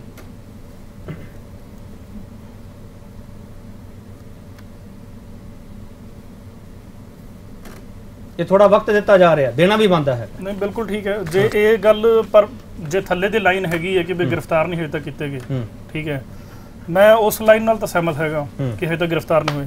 ਪਰ ਜੇ ਉੱਪਰ ਇਹੋ ਜਿਹੀ ਲਾਈਨ ਲਿਖੀ ਜਾ ਰਹੀ ਹੈ ਤਾਂ ਫਿਰ ਉਹ ਦੇਖਣਾ ਪਏਗਾ। ਬਟ। ਵੈਸੇ ਇੰਗਲਿਸ਼ ਦੇ ਵਿੱਚ ਜਿਹੜਾ ਹੈ ਇੰਗਲਿਸ਼ ਦਾ ਜਿਹੜਾ ਪ੍ਰੈਸ ਨੋਟ ਹੈ ਉਹਦੇ ਚ ਇਹੋ ਜਿਹੀ ਗੱਲ ਨਹੀਂ ਲਿਖੀ ਹੋਈ। ਚਲੋ ਇਹ ਇੱਕ ਚੰਗੀ ਗੱਲ ਹੈਗੀ ਹੈ ਤੁਸੀਂ ਇਸ ਗੱਲ ਨੂੰ ਐਡਮਿਟ ਕੀਤਾ ਹੈਗਾ। ਜਸਤੇਜ ਸਿੰਘ ਉੱਥੇ ਜਦੋਂ ਤੁਸੀਂ ਗਏ ਸੀਗੇ ਚੋਣ ਕਮਿਸ਼ਨਰ ਕੋਲ ਤੁਸੀਂ ਉਹ ਸੱਤ ਮੈਂਬਰੀ ਵਫਦ ਵਿੱਚ ਸ਼ਾਮਲ ਸੀਗੇ। ਜਸਤੇਜ ਸਿੰਘ ਤੁਸੀਂ ਬੜੀਆਂ ਸ਼ਿਕਾਇਤਾਂ ਕੀਤੀਆਂ। ਚੋਣ ਕਮਿਸ਼ਨਰ ਨੇ ਜਵਾਬ ਕੀ ਦਿੱਤਾ? ਚੋਣ ਕਮਿਸ਼ਨ ਨੇ ਜਵਾਬ ਦਿੱਤਾ। ਸੌਰੀ ਮੈਂ ਕਈ ਵਾਰੀ ਹਸਬੰਡ ਨਾ ਉਹ ਇੱਕ ਵਿਅੰਗ ਹੁੰਦਾ। ਚੋਣ ਕਮਿਸ਼ਨ ਨੇ ਕਿਹਾ ਜੀ ਅਸੀਂ ਜਿੱਥੇ ਨੋਮੀਨੇਸ਼ਨ ਪੇਪਰਸ ਨਾਰਮਲ ਤੋਂ ਜ਼ਿਆਦਾ ਰਿਜੈਕਟ ਹੋਏ ਹੈ ਅਸੀਂ ਉੱਥੇ ਰਿਪੋਰਟ ਮੰਗਾ ਰਹੇ ਹਾਂ। ਤੇ ਮੈਂ ਉਹਨਾਂ ਨੂੰ ਪੁੱਛਿਆ ਤੁਸੀਂ ਜੇ ਪਹਿਲਾਂ ਇਹ ਹਦਾਇਤਾਂ ਦੇ ਦਿੰਦੇ ਇਨਸਟਰਕਸ਼ਨਸ ਬਾਅਦ ਚ ਦਿੱਤੀਆਂ ਨਾ ਬਾਅਦ ਚ ਦੇਣ ਦਾ ਤਾਂ ਕੋਈ ਫਾਇਦਾ ਨਹੀਂ ਚੋਣਾਂ ਹੋ ਜਾਣੀ ਹੈ। ਉਸ ਤੋਂ ਰਿਪੋਰਟ ਆ ਜਾਏਗੀ ਤੁਸੀਂ ਕੀ ਕਰ ਲਓਗੇ? ਉਹਨਾਂ ਨੇ ਤਾਂ ਜੋ ਕਾਰਨ ਦੇਣਾ ਹੈ ਉਹ ਦੇ ਦੇਣਾ ਆਰਾਮ ਨਾਲ ਆਪਣਾ ਕੋਈ ਵੀ ਕਾਰਨ ਦੇ ਦੇਣ ਕਿ ਵੀ ਹਾਂਜੀ ਪ੍ਰਪੋਜ਼ਲ ਮੁਕਰ ਗਿਆ ਜਾਂ ਇਹ ਮੁਕਰ ਗਿਆ। ਇਹ ਇਨਸਟਰਕਸ਼ਨਸ ਜਿਹੜੀਆਂ ਦੇਣੀਆਂ ਸੀਗੀਆਂ ਇਹ ਪਹਿਲਾਂ ਦੇਣੀਆਂ ਬੰਦੀ ਸੀਗੀਆਂ। ਆਰਓਜ਼ ਨੂੰ ਏਆਰਓਜ਼ ਨੂੰ ਕਿ ਜਿੱਥੇ ਤੁਹਾਡੇ ਨਾਰਮਲ ਐਵਰੇਜ ਤੋਂ ਜ਼ਿਆਦਾ ਰਿਜੈਕਸ਼ਨਸ ਹੋਈ ਉੱਥੇ ਤੁਹਾਨੂੰ ਕਾਰਨ ਦੱਸਣਾ ਪਏਗਾ ਕਿ ਕਿਉਂ ਰਿਜੈਕਸ਼ਨ ਹੋਈ ਹੈ। ਫਿਰ ਆਪਣੇ ਆਪ ਰਿਜੈਕਸ਼ਨਸ ਘੱਟ ਹੁੰਦੀਆਂ ਕਿਉਂਕਿ ਜ਼ਿੰਮੇਵਾਰੀ ਫਿਰ ਤੈਅ ਹੁੰਦੀ। ਇਹ ਪਹਿਲੀ ਗੱਲ ਇਹ ਹੋਈ। ਫਿਰ ਉਸ ਤੋਂ ਬਾਅਦ ਜਿਵੇਂ ਉੱਥੇ ਇੱਕ ਲੁਧਿਆਣਾ ਚ ਸਾਡੇ ਜ਼ੋਨ 1 ਹੈ। ਉੱਥੇ ਦੇ ਮੇਵਾ ਸਿੰਘ ਕੈਂਡੀਡੇਟ ਸੀਗਾ। ਉਹਦਾ ਤੁਸੀਂ ਮੰਨੋ ਕੇਪੀਜੀ ਕਿਸ ਕਾਰਨਾ ਕਰਕੇ ਉਹਦਾ ਰਿਜੈਕਟ ਕੀਤਾ?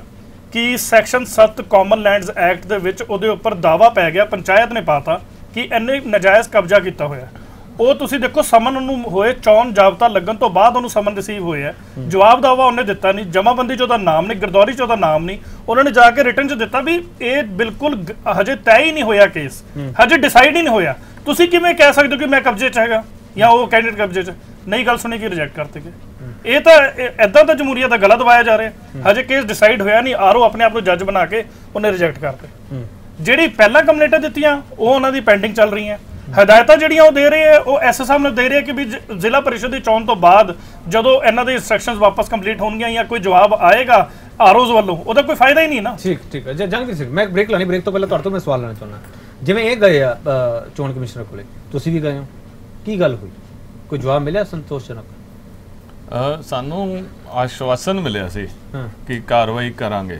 ਪਰ ਪਿਛਲੇ ਦੋ ਦਿਨਾਂ ਤੇ ਆਪਾਂ ਕੋਈ ਕਾਰਵਾਈ ਦੇਖੀ ਨਹੀਂ। ਆਪ ਕੋਈ ਇਹੋ ਜੀ ਕਾਰਵਾਈ ਨਹੀਂ ਆਈ ਕਿਉਂਕਿ 3-4 ਮੇਨ ਇਸ਼ੂ ਸੀ ਜਿਹੜੇ ਆਪਾਂ ਗੱਲ ਕੀਤੀ ਸੀ। ਜਿਹੜਾ ਵਫਦ ਨੇ ਗੱਲ ਕੀਤੀ ਸੀ। ਇੱਕ ਮੇਨ ਇਸ਼ੂ ਸੀ ਅਸੀਂ ਚਾਹੁੰਦੇ ਸੀ ਕਿ ਇੱਕ high level high level inquiry ਹੋਏ into all cases of violence ਕਿ ਜਿਹੜੇ ਵੀ ਵਾਇਲੈਂਟ ਇਨਸੀਡੈਂਟਸ ਹੋਏ ਨੇ ਉਹਨਾਂ ਦੇ ਉੱਤੇ ਇਨਕੁਆਇਰੀ ਕਰੋ ਔਰ ਇਨਕੁਆਇਰੀ ਕਰਕੇ ਉਹ ਆਪਣਾ ਕਿਉਂ ਹੋਏ, ਕੌਣ ਉਹਨਾਂ ਦੇ ਪਿੱਛੇ ਸੀ, ਔਰ ਆਇਡੈਂਟੀਫਾਈ ਕਰੋ ਜਿਹੜੇ ਕੋਈ ਸਰਕਾਰੀ ਅਫਸਰ ਨੇ ਜਿਨ੍ਹਾਂ ਨੇ ਜਾਂ ਕੰਮ ਨਹੀਂ ਕੀਤਾ ਜਾਂ ਡਿਰੈਲਿਕਸ਼ਨ ਆਫ ਡਿਊਟੀ ਕੀਤੀ ਜਾਂ ਕਲੂਜਨ ਕੀਤੀ, ਮਿਲ ਗਏ ਆਪਣਾ ਕਾਂਗਰਸ ਪਾਰਟੀ ਨਾਲ ਜਾਂ ਕਿਸੇ ਹੋਰ ਨਾਲ। ਤੇ ਉਹ ਇੱਕ ਡਿਮਾਂਡ ਸੀਗੀ। ਫਿਰ ਅਸੀਂ ਇਹ ਵੀ ਕਿਹਾ ਸੀ ਵੀ ਆਪਣਾ ਤੁਸੀਂ ਪੈਰਾਮਿਲਟਰੀ ਫੋਰਸਸ ਦਾ ਵੀ ਆਪਣਾ ਰਿਕੁਜੀਸ਼ਨ ਕਰੋ ਸਟੇਟ ਗਵਰਨਮੈਂਟ ਨੂੰ। ਉਹਦੇ ਬਾਅਦ ਪੈਰਾਮਿਲਟਰੀ ਫੋਰਸਸ ਦੀ ਡਿਪਲੋਇਮੈਂਟ ਹੋਏ ਤੇ ਉਹਦੇ ਨਾਲ ਹੀ ਫ੍ਰੀ ਐਂਡ ਫੇਅਰ ਇਲੈਕਸ਼ਨ ਹੋ ਸਕਦਾ ਹੈ। ਅਸੀਂ ਇੱਕ ਹੋਰ ਬੜੀ ਇੰਪੋਰਟੈਂਟ ਗੱਲ ਕੀਤੀ ਸੀ ਕਿਉਂਕਿ ਤੁਸੀਂ ਦੇਖੋ ਅਕਾਲੀ ਦਲ ਦੇ 249 ਕੈਂਡੀਡੇਟਸ ਦੇ ਕਰੀਬ 250 ਕੈਂਡੀਡੇਟਾਂ ਦੇ ਜਿਹੜੇ ਨੋਮੀਨੇਸ਼ਨ ਪੇਪਰਸ ਨੇ ਉਹ ਰਿਜੈਕਟ ਹੋਏ ਨੇ। ਤੇ ਅਸੀਂ ਕਿਹਾ ਸੀ ਔਰ ਕਈ ਜਗ੍ਹਾ ਇਹ- ਇਹੋ ਜਿਹੀਆਂ ਸੀਗੀਆਂ ਜਿੱਥੇ ਇੱਕ ਵੀ ਜਗ- ਇੱਕ ਵੀ ਨੋਮੀਨੇਸ਼ਨ ਪੇਪਰ ਨਹੀਂ ਫਾਈਲ ਕਰਨ ਦਿੱਤਾ ਗਿਆ। ਤਾਂ ਅਸੀਂ ਕਿਹਾ ਵੀ ਜਿਹੜੀ ਜਿਹੜੀ ਜਗ੍ਹਾ ਉਹ at- ਘੱਟ ਤੋਂ ਘੱਟ 8-10 ਜਗ੍ਹਾ ਸੀਗੀਆਂ ਜਿੱਥੇ ਇੱਕ ਵੀ ਨੋਮੀਨੇਸ਼ਨ ਪੇਪਰ ਨਹੀਂ ਹੋਇਆ ਫਾਈਲ ਤੇ ਅਸੀਂ ਕਿ ਜਿੱਥੇ ਜਿੱਥੇ ਨੋਮੀਨੇਸ਼ਨ ਪੇਪਰ ਨਹੀਂ ਫਾਈਲ ਹੋ ਸਕਿਆ, ਇੱਕ ਵੀ ਨਹੀਂ ਹੋ ਸਕਿਆ ਕਿਉਂਕਿ ਜਾਂ ਤੇ ਦ- ਦਰਵਾਜ਼ੇ ਬੰਦ ਸੀ ਜਾਂ ਇੰਟੀਮੀਡੇਸ਼ਨ ਹੋਈ ਜਾਂ ਫਾਇਰਿੰਗ ਹੋਈ ਜਾਂ ਕੋਈ ਹੋਰ ਗਾ ਵਜ੍ਹਾ ਸੀਗੀ, ਉੱਥੇ ਤੁਸੀਂ ਇੱਕ ਦਿਨ ਹੋਰ ਐਕਸਟੈਂਡ ਕਰ ਦਿਓ ਜਿਹੜਾ ਕਿ ਅਸੀਂ ਨੋ- ਉੱਥੇ ਕੈਂਡੀਡੇਟ ਜਿਹੜੇ ਨੇ ਨੋਮੀਨੇਸ਼ਨ ਪੇਪਰ ਫਾਈਲ ਕਰ ਸਕਣ। ਪਰ ਇਹ ਵੀ ਜਿਹੜਾ ਡਿਮਾਂਡ ਸੀ ਇਸ ਤੇ ਵੀ ਕੋਈ ਐਕਸ਼ਨ ਹੋਇਆ ਨਹੀਂ। ਯਾਨੀ ਕਿ ਜੰਗਵੀਰ ਸਿੰਘ ਇਹ ਕਹਿਣਾ ਚਾਹ ਰਿਹਾ ਕਿ ਤੁਹਾਡੀ ਕੋਈ ਵੀ ਡਿਮਾਂਡ ਆ ਮੰਨੀ ਨਹੀਂ ਗਈ। ਨਹੀਂ ਜੀ ਕੋਈ ਕੋਈ ਥੋੜਾ ਡਿਮਾਂਡ ਬ੍ਰੇਕ ਲੈਣਾ ਬ੍ਰੇਕ ਤੋਂ ਵਾਪਸ ਆਵਾਂਗੇ। ਤੁਹਾਡੀਆਂ ਕਿੰਨੀਆਂ ਮੰਨੀਆਂ ਜਾਂਦੀਆਂ ਜੋ ਤੁਸੀਂ ਸਵਾਲ ਕਰਦੇ ਹੋ? ਕਿਉਂਕਿ ਤੁਸੀਂ ਵੀ ਸਵਾਲ ਪੁੱਛਦੇ ਹੈਗੇ ਜਦੋਂ ਵੋਟਾਂ ਲੈਣ ਆਉਂਦੇ ਆ, ਪਰ ਜੋ ਤੁਸੀਂ ਸਵਾਲ ਕਰਦੇ ਹੋ, ਤੁਸੀਂ ਸਵਾਲ ਇਹ ਵੀ ਕਰਦੇ ਹੋ ਕਿ ਸਰਬਸੰਮਤੀ ਵਾਲਾ ਰਿਵਾਜ ਆ ਜਿਹੜਾ, ਉਹ ਖਤਮ ਕਿਉਂ ਹੁੰਦਾ ਜਾ ਰਿਹਾ? ਧੜੇਬੰਦੀ ਆ ਜਿਹੜੀ, ਉਹ ਭਾਰੂ ਕੋ ਪੈਂਦੀ ਜਾ ਰਹੀ ਹੈ ਕੀ ਹੈ ਸਰਬਸੰਮਤੀ ਨਾਲ ਜਿਹੜੀਆਂ ਚੋਣਾਂ ਹੁੰਦੀਆਂ ਸੀਗੀਆਂ, ਚੋਣ ਨਿਸ਼ਾਨ ਤੇ ਚੋਣਾਂ ਨਾ ਲੜੀਆਂ ਜਾਣ, ਪਿੰਡਾਂ ਦੇ ਵਿੱਚ ਜਿਹੜੀ ਭਾਈਚਾਰਕ ਸਾਂਝ ਹੈਗੀ, ਉਹ ਬਣੀ ਰਵੇ। ਇਸ ਭਾਈਚਾਰਕ ਸਾਂਝ ਨੂੰ ਕੌਣ ਤੋੜਨਾ ਚਾਹੁੰਦਾ? ਇਹ ਸਵਾਲ ਬਹੁਤ ਮਹੱਤਵਪੂਰਨ ਆ। ਬ੍ਰੇਕ ਤੋਂ ਬਾਅਦ ਵਾਪਸ ਆ ਕੇ ਪੁੱਛਾਂਗੇ ਜ਼ਰੂਰ। ਜ਼ਿਲ੍ਹਾ ਪ੍ਰੀਸ਼ਦ ਅਤੇ ਬਲਾਕ ਸੰਮਤੀ ਚੋਣਾਂ ਮੌਕੇ ਸੁਰੱਖਿਆ ਦੀ ਜ਼ਿੰਮੇਵਾਰੀ ਕਿਸ ਦੇ ਹੱਥ ਹੋਵੇ?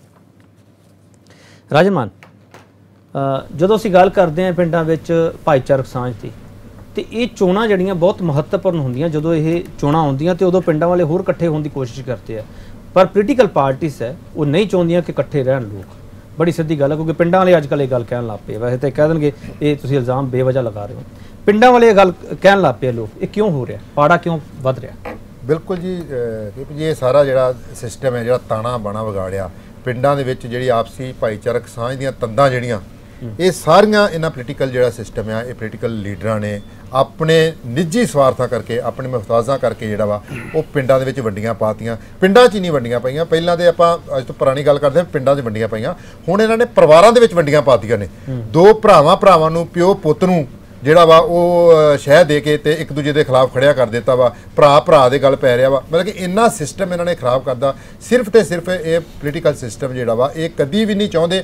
ਪਿੰਡਾਂ ਦੇ ਕਿਸੇ ਪਿੰਡ ਦੇ ਵਿੱਚ ਚਲੇ ਜਾਓ, ਉੱਥੇ ਪਰਿਵਾਰਾਂ ਦੇ ਵਿੱਚ ਤੁਹਾਡੇ ਪਿੰਡਾਂ ਦੇ ਵਿੱਚ ਤੇ ਤੁਹਾਡੇ ਹੈ ਹੀ ਹੈ ਨੇ ਪਰਿਵਾਰਾਂ ਦੇ ਵਿੱਚ ਅਹ, ਧੜੇ ਬਣ ਗਏ ਨੇ ਕਿ ਉਹ ਪਾਰਟੀ ਹਰ ਬੰਦਾ ਚਾਹੁੰਦਾ ਕਿ ਮੈਂ ਇਹਦੇ ਭਰਾ ਨੂੰ ਖਿੱਚ ਲਾਂ। ਇਸ ਕਰਕੇ ਇਹ ਜਿਹੜੀ ਇਹਨਾਂ ਦੀ ਇਹਨਾਂ ਦੀ ਕਨਸੈਪਟ ਆ ਜਿਹੜੀ ਇਹਨਾਂ ਦੀ ਸੋਚ ਆ ਮੈਂ ਕਹਾਂਗਾ ਬਹੁਤ ਮਾੜੀ ਆ ਔਰ ਇਹ ਪੰਜਾਬ ਨੂੰ ਇੱਕ ਗਲਤ ਦਿਸ਼ਾ ਦੇ ਲੈ ਕੇ ਜਾ ਰਹੇ ਨੇ ਔਰ ਪੰਜਾਬ ਦੇ ਲੋਕਾਂ ਨੂੰ ਵੀ ਮੈਂ ਤਾਂ ਕਹਾਂਗਾ ਕਿ ਇਹ ਸਮਝ ਲੈਣਾ ਚਾਹੀਦਾ ਕਿ ਇਹਨਾਂ ਸਿਆਸੀ ਦੇਖੋ ਜਿਹੜੀ ਵੀ ਲੜਾਈ ਹੋਈ ਅੱਜ ਤੱਕ ਕੋਈ ਵੱਡਾ ਸਿਆਸੀ ਲੀਡਰ ਦੇ ਉੱਤੇ ਮੈਨੂੰ ਦੱਸੋ ਕੋਈ ਕਾਰਵਾਈ ਹੋਈ ਜਾਂ ਉਹਦਾ ਸਿਰ ਪਾੜ ਗਿਆ ਜਾਂ ਕਿਸੇ ਕੁਝ ਕਰਤਾ। ਕੌਣ ਮਰਿਆ? ਮਾਵਾਂ ਦੇ ਪੁੱਤ ਆਮ ਪਿੰਡਾਂ ਦੇ ਲੋਕ ਮਰੇ। ਇਹਨਾਂ ਦੀ ਦੋਵਾਂ ਦੇ ਜਾਂ ਸਾਰੀਆਂ ਪਾਰਟੀਆਂ ਦੀ ਮੈਂ ਗੱਲ ਕਰਦਾ, ਸਾਰੀਆਂ ਪਾਰਟੀਆਂ ਦੇ ਲੀਡਰਾਂ ਦੀ ਆਪਸੀ ਟਸਲ ਦਾ ਜਿਹੜਾ ਵਾ ਟਸਲ ਦਾ, ਉਹਦਾ ਖਮਿਆਜਾ ਕੌਣ ਭੁਗਤ ਰਿਹਾ? ਪਿੰਡਾਂ ਦੇ ਆਮ ਸਧਾਰਨ ਲੋਕ ਭੁਗਤ ਰਹੇ ਨੇ। ਇਸ ਕਰਕੇ ਇਹਨਾਂ ਨੂੰ ਇਹ ਸਮਝ ਲੈਣਾ ਚਾਹੀਦਾ ਕਿ ਹੁਣ ਪਿੰਡ ਜਿਹੜੇ ਲੋਕ ਆ, ਉਹ ਅਵੇਅਰ ਹੁੰਦੇ ਜਾ ਰਹੇ ਨੇ। ਇਹ ਜਿਹੜੀ ਆਪਸੀ ਭਾਈਚਾਰਕ ਸਾਂਝ ਆ ਨਾ ਇਹਨੂੰ ਨਾ ਖਤਮ ਕੀਤਾ ਜਾਵੇ। ਸੱਥਾਂ ਦੇ ਵਿੱਚ ਬੈਠ ਕੇ ਲੋਕੀ ਗੱਲਾਂ ਕਰਦੇ ਸੀ ਹੱਸਦੇ ਖੇਡਦੇ ਸੀ। ਅੱਜ ਇਹਨਾਂ ਨੇ ਸੱਥਾਂ ਦੇ ਵਿੱਚੋਂ ਜਿਹੜੇ ਹਾਸੇ ਆ ਉਹ ਗਾਇਬ ਕਰ ਦਿੱਤੇ ਨੇ। ਅੱਜ ਉੱਥੇ ਇੱਕ ਦੂਜੇ ਦੇ ਉੱਤੇ ਚਿੱਕੜ ਸੁੱਟਿਆ ਜਾ ਰਿਹਾ ਵਾ। ਘਰਾਂ ਦੇ ਵਿੱਚ ਇੱਕ ਦੂਜੇ ਨੂੰ ਭਰਾ ਭਰਾ ਦਾ ਵੈਰੀ ਬਣਾ ਦਿੱਤਾ ਇਹਨਾਂ ਨੇ। ਪਿਓ ਪੁੱਤ ਦਾ ਵੈਰੀ ਬਣਾ ਦਿੱਤਾ। ਇੱਕ ਪੋਲੀਟੀਕਲ ਸਿਸਟਮ ਨੇ ਇੰਨਾ ਗੰਦਾ ਕੰਮ ਕਰ ਦਿੱਤਾ ਵਾ ਕਿ ਇਹਨਾਂ ਇੱਕ ਬੜੀ ਸੌੜੀ ਰਾਜਨੀਤੀ ਦੀ ਖਾਤਰ ਆਪਣੀਆਂ ਕੁਰਸੀਆਂ ਦੀ ਖਾਤਰ ਇਹਨਾਂ ਨੇ ਪਰਿਵਾਰ ਪਾੜ ਦਿੱਤੇ ਪਿੰਡ ਪਾੜਤੇ ਸਾਂਝਾਂ ਖਤਮ ਕਰ ਦਿੱਤੀਆਂ ਪਰ ਜਿਹੜੀਆਂ ਸੱਭਿਆਚਾਰਕ ਆ ਸਰ ਤਰ੍ਹਾਂ ਦੀਆਂ ਸਾਂਝਾਂ ਖਤਮ ਕਰਤੀਆਂ ਇਹ ਬੜੀ ਤਰਾਸਦੀ ਹੈ ਪੰਜਾਬ ਦੇ ਔਰ ਪੰਜਾਬ ਦੇ ਲੋਕਾਂ ਨੂੰ ਹੁਣ ਸਮਝ ਲੈਣਾ ਚਾਹੀਦਾ ਕਿ ਉਹਨਾਂ ਦੇ ਅਸਲ ਦੁਸ਼ਮਣ ਕੌਣ ਨੇ। ਸਰਜੀਤ ਸਿੰਘ ਸਵਰਾਜ ਅਹ ਪੰਜਾਬ ਦੇ ਲੋਕ ਇੱਕੋ ਹੀ ਸਵਾਲ ਪੁੱਛਦੇ ਆ ਸਾਡੇ ਚ ਫੁੱਟ ਕਿਉਂ ਪਾ ਰਹੇ ਹੋ?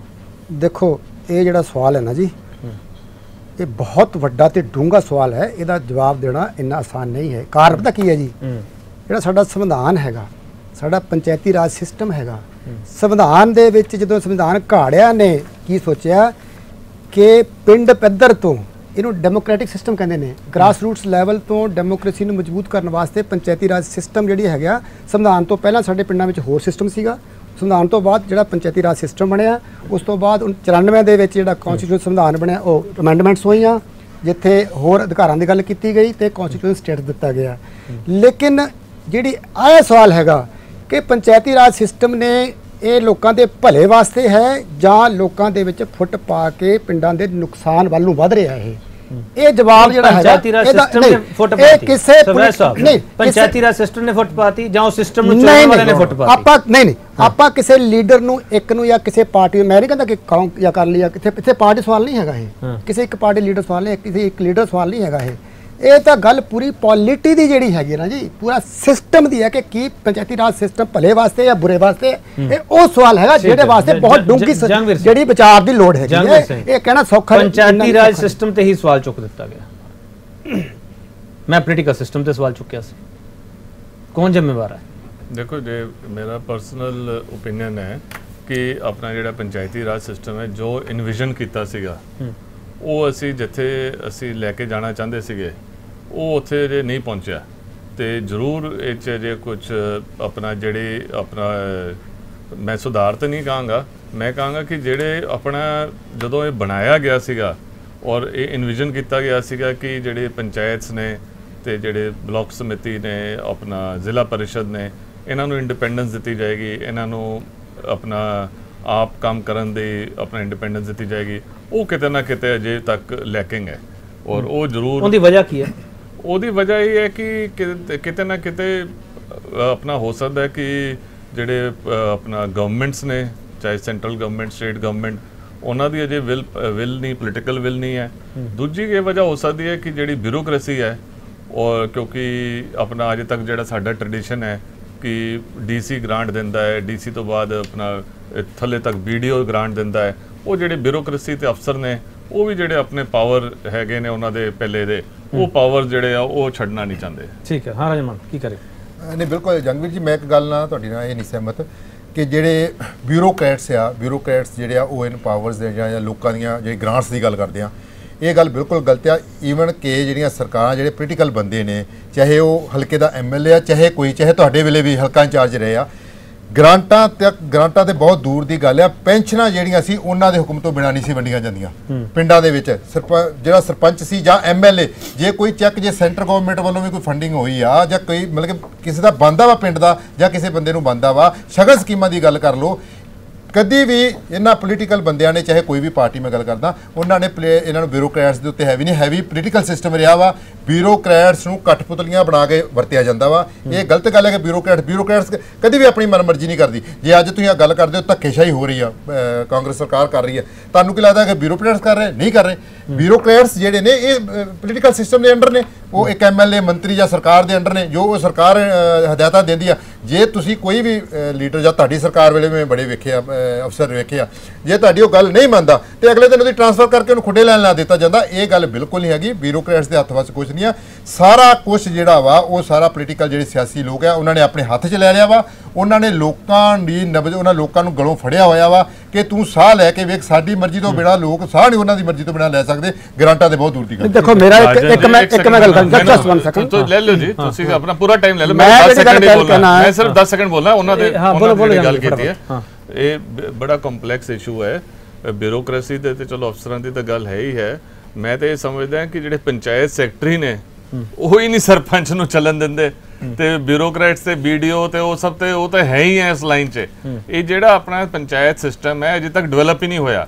ਔਰ ਇਹਦੇ 'ਚ ਆਪਣਾ ਕਿਤੇ ਨਾ ਕਿਤੇ ਜਿਹੜੇ ਇਨਹੈਰੈਂਟ ਪਾਵਰ ਜਿਹੜੀ ਅਫਸਰਸ ਕੋਲ ਹੈਗੀਆਂ ਉਹ ਪਾਵਰਸ ਉਹ ਨਹੀਂ ਛੱਡਣਾ 25 ਚਾਹੁੰਦੇ। ਸਾਲਾਂ ਬਾਅਦ ਵੀ ਡਿਵੈਲਪ ਨਹੀਂ ਹੋਇਆ ਤੇ ਆਪਾਂ ਕਿੱਥੇ ਜਾ ਨਹੀਂ ਕੇ-। ਕਿੱਥੇ ਜਾ ਕੇ ਕਵਾਂਗੇ ਕਿ ਡਿਵੈਲਪ ਦੇਖੋ ਜੀ ਆਪਾਂ ਸਾਰੇ ਸਾਰਿਆਂ ਦੀ ਮਜੋ ਇਹ ਹੈਗੀ ਹੈ ਨਾ ਹਾਂ ਸਰ ਜੀ। ਫਟਾਫਟ ਲਾਸਟ ਮਿੰਟ ਬਿਲਕੁਲ ਮੈਂ ਇਸੇ ਗੱਲ ਨਾਲ ਸਹਿਮਤ ਹਾਂ ਜੀ।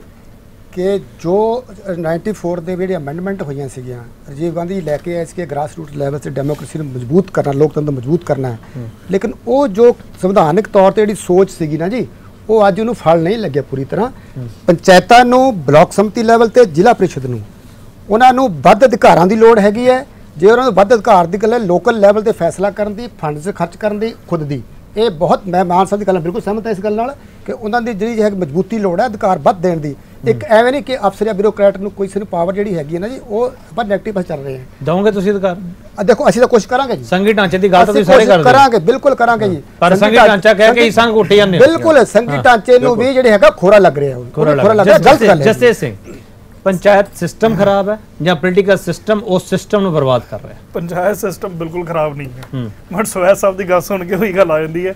ਮੂੰਹ पे ਰਾਮ ਰਾਮ ਬਗਲ ਵਿੱਚ ਛੁਰੀ ਕਹਿੰਦੇ ਕਿ ਵੀ ਇਹ ਸਿਸਟਮ ਨੂੰ ਚੇਂਜ ਕਰਨ ਦੀ ਲੋੜ ਹੈ। ਜਸਤੇਜ ਜੀ ਮੈਂ ਕਿਸੇ ਪੋਲੀਟੀਕਲ ਪਾਰਟੀ ਦੀ ਗੱਲ ਨਹੀਂ ਕਰ ਰਿਹਾ ਨਹੀਂ, ਨਹੀਂ, ਮੈਂ ਕਰ ਰਿਹਾ ਮੈਂ ਕਰ ਰਿਹਾ। ਸਿਸਟਮ ਦੀ ਗੱਲ ਕਰ ਰਿਹਾ। ਤੁਹਾਡੇ ਸਾਹਮਣੇ ਨਾਲ ਨਹੀਂ ਗੱਲ ਕਰਨੀ, please 1994 ਤੋਂ ਲੈ ਕੇ ਤੁਸੀਂ ਗੱਲ ਕੀਤੀ ਹੈ ਇਹ। ਦੇਖੋ, ਹੁਣ ਨਹੀਂ ਨਹੀਂ। ਹੁਣ ਨਹੀਂ ਬੋਲਣ ਦੇਣਗੇ ਨਹੀਂ, ਕਿਉਂਕਿ ਨਹੀਂ, ਟਾਈਮ ਇੰਨੀ ਹੋ ਵਧੀਆ ਰਿਹਾ ਤੇਰੀ। ਚਰਚਾ ਕਰ ਰਹੇ ਸੁਣ ਲਓ ਨਾ। ਸੁਣ ਲਓ। ਨਹੀਂ ਸੁਣਨ ਦਾ ਸੁਣਿਆ ਕਰੋ ਇੱਕ ਦੂਜੇ ਸੁਣਿਆ ਕਰੋ। ਮੈਂ ਮੈਂ ਵੀ ਸੁਣਦਾ ਤੁਹਾਡੀ ਗੱਲ। ਸੁਣ ਲਓ ਸਹਿਜ ਸਾਹਿਬ ਸੁਣ ਲਓ ਸੁਣ ਲਓ। ਤੁਸੀਂ ਦਿੱਲੀ ਗੱਲ ਕੀਤੀ ਸਹਿਜ ਸਾਹਿਬ ਤੁਸੀਂ ਵਕੀਲ ਹੋ ਵਕੀਲ ਹੋ ਮਹੱਲਾ ਸਭਾ ਦੀ ਗੱਲ ਕੀਤੀ ਆਪਾਂ। ਇੱਥੇ ਬੈਠੇ ਸਟੂਡੀਓ 'ਚ ਬੈਠੇ ਆਪਾਂ। ਬਹਿਸ ਨਹੀਂ ਚੱਲ ਰਹੀ ਇੱਥੇ। ਨਹੀਂ, ਮੈਂ ਇਹਨਾਂ ਦੇ ਇਲਜ਼ਾਮ ਨਹੀਂ ਲਾ ਰਿਹਾ ਦੱਸਣਾ ਆਪਾਂ। ਮੈਂ ਇਲਜ਼ਾਮ ਨਹੀਂ ਲਾ ਰਿਹਾ ਇਹਨਾਂ ਤੇ ਮੈਂ ਕਹਿ ਰਿਹਾ ਇਹ ਇਹ ਕਰਨ ਨਹੀਂ ਦੇਣਗੇ ਦੇ- ਐਂਡ ਹੋ ਰਿਹਾ ਨਾ ਪ੍ਰੋਗਰਾਮ ਹੁਣ ਇਹ ਚਾਹੁੰਦੇ ਸੁਣ ਇਹ ਇਹਨਾਂ ਦੀ। ਪੋਲ ਖੁੱਲਣੀ ਹੈ। ਇਹ ਕਹਿੰਦੇ ਕਿ ਇਹ ਕਹਿੰਦੇ ਕਿ ਸਿਸਟਮ ਚੇਂਜ ਹੋਣਾ ਚਾਹੀਦਾ ਕਿਹੜੀ poll ਦੀ ਗੱਲ ਕਰ ਰਹੇ ਹੋ ਤੁਸੀਂ?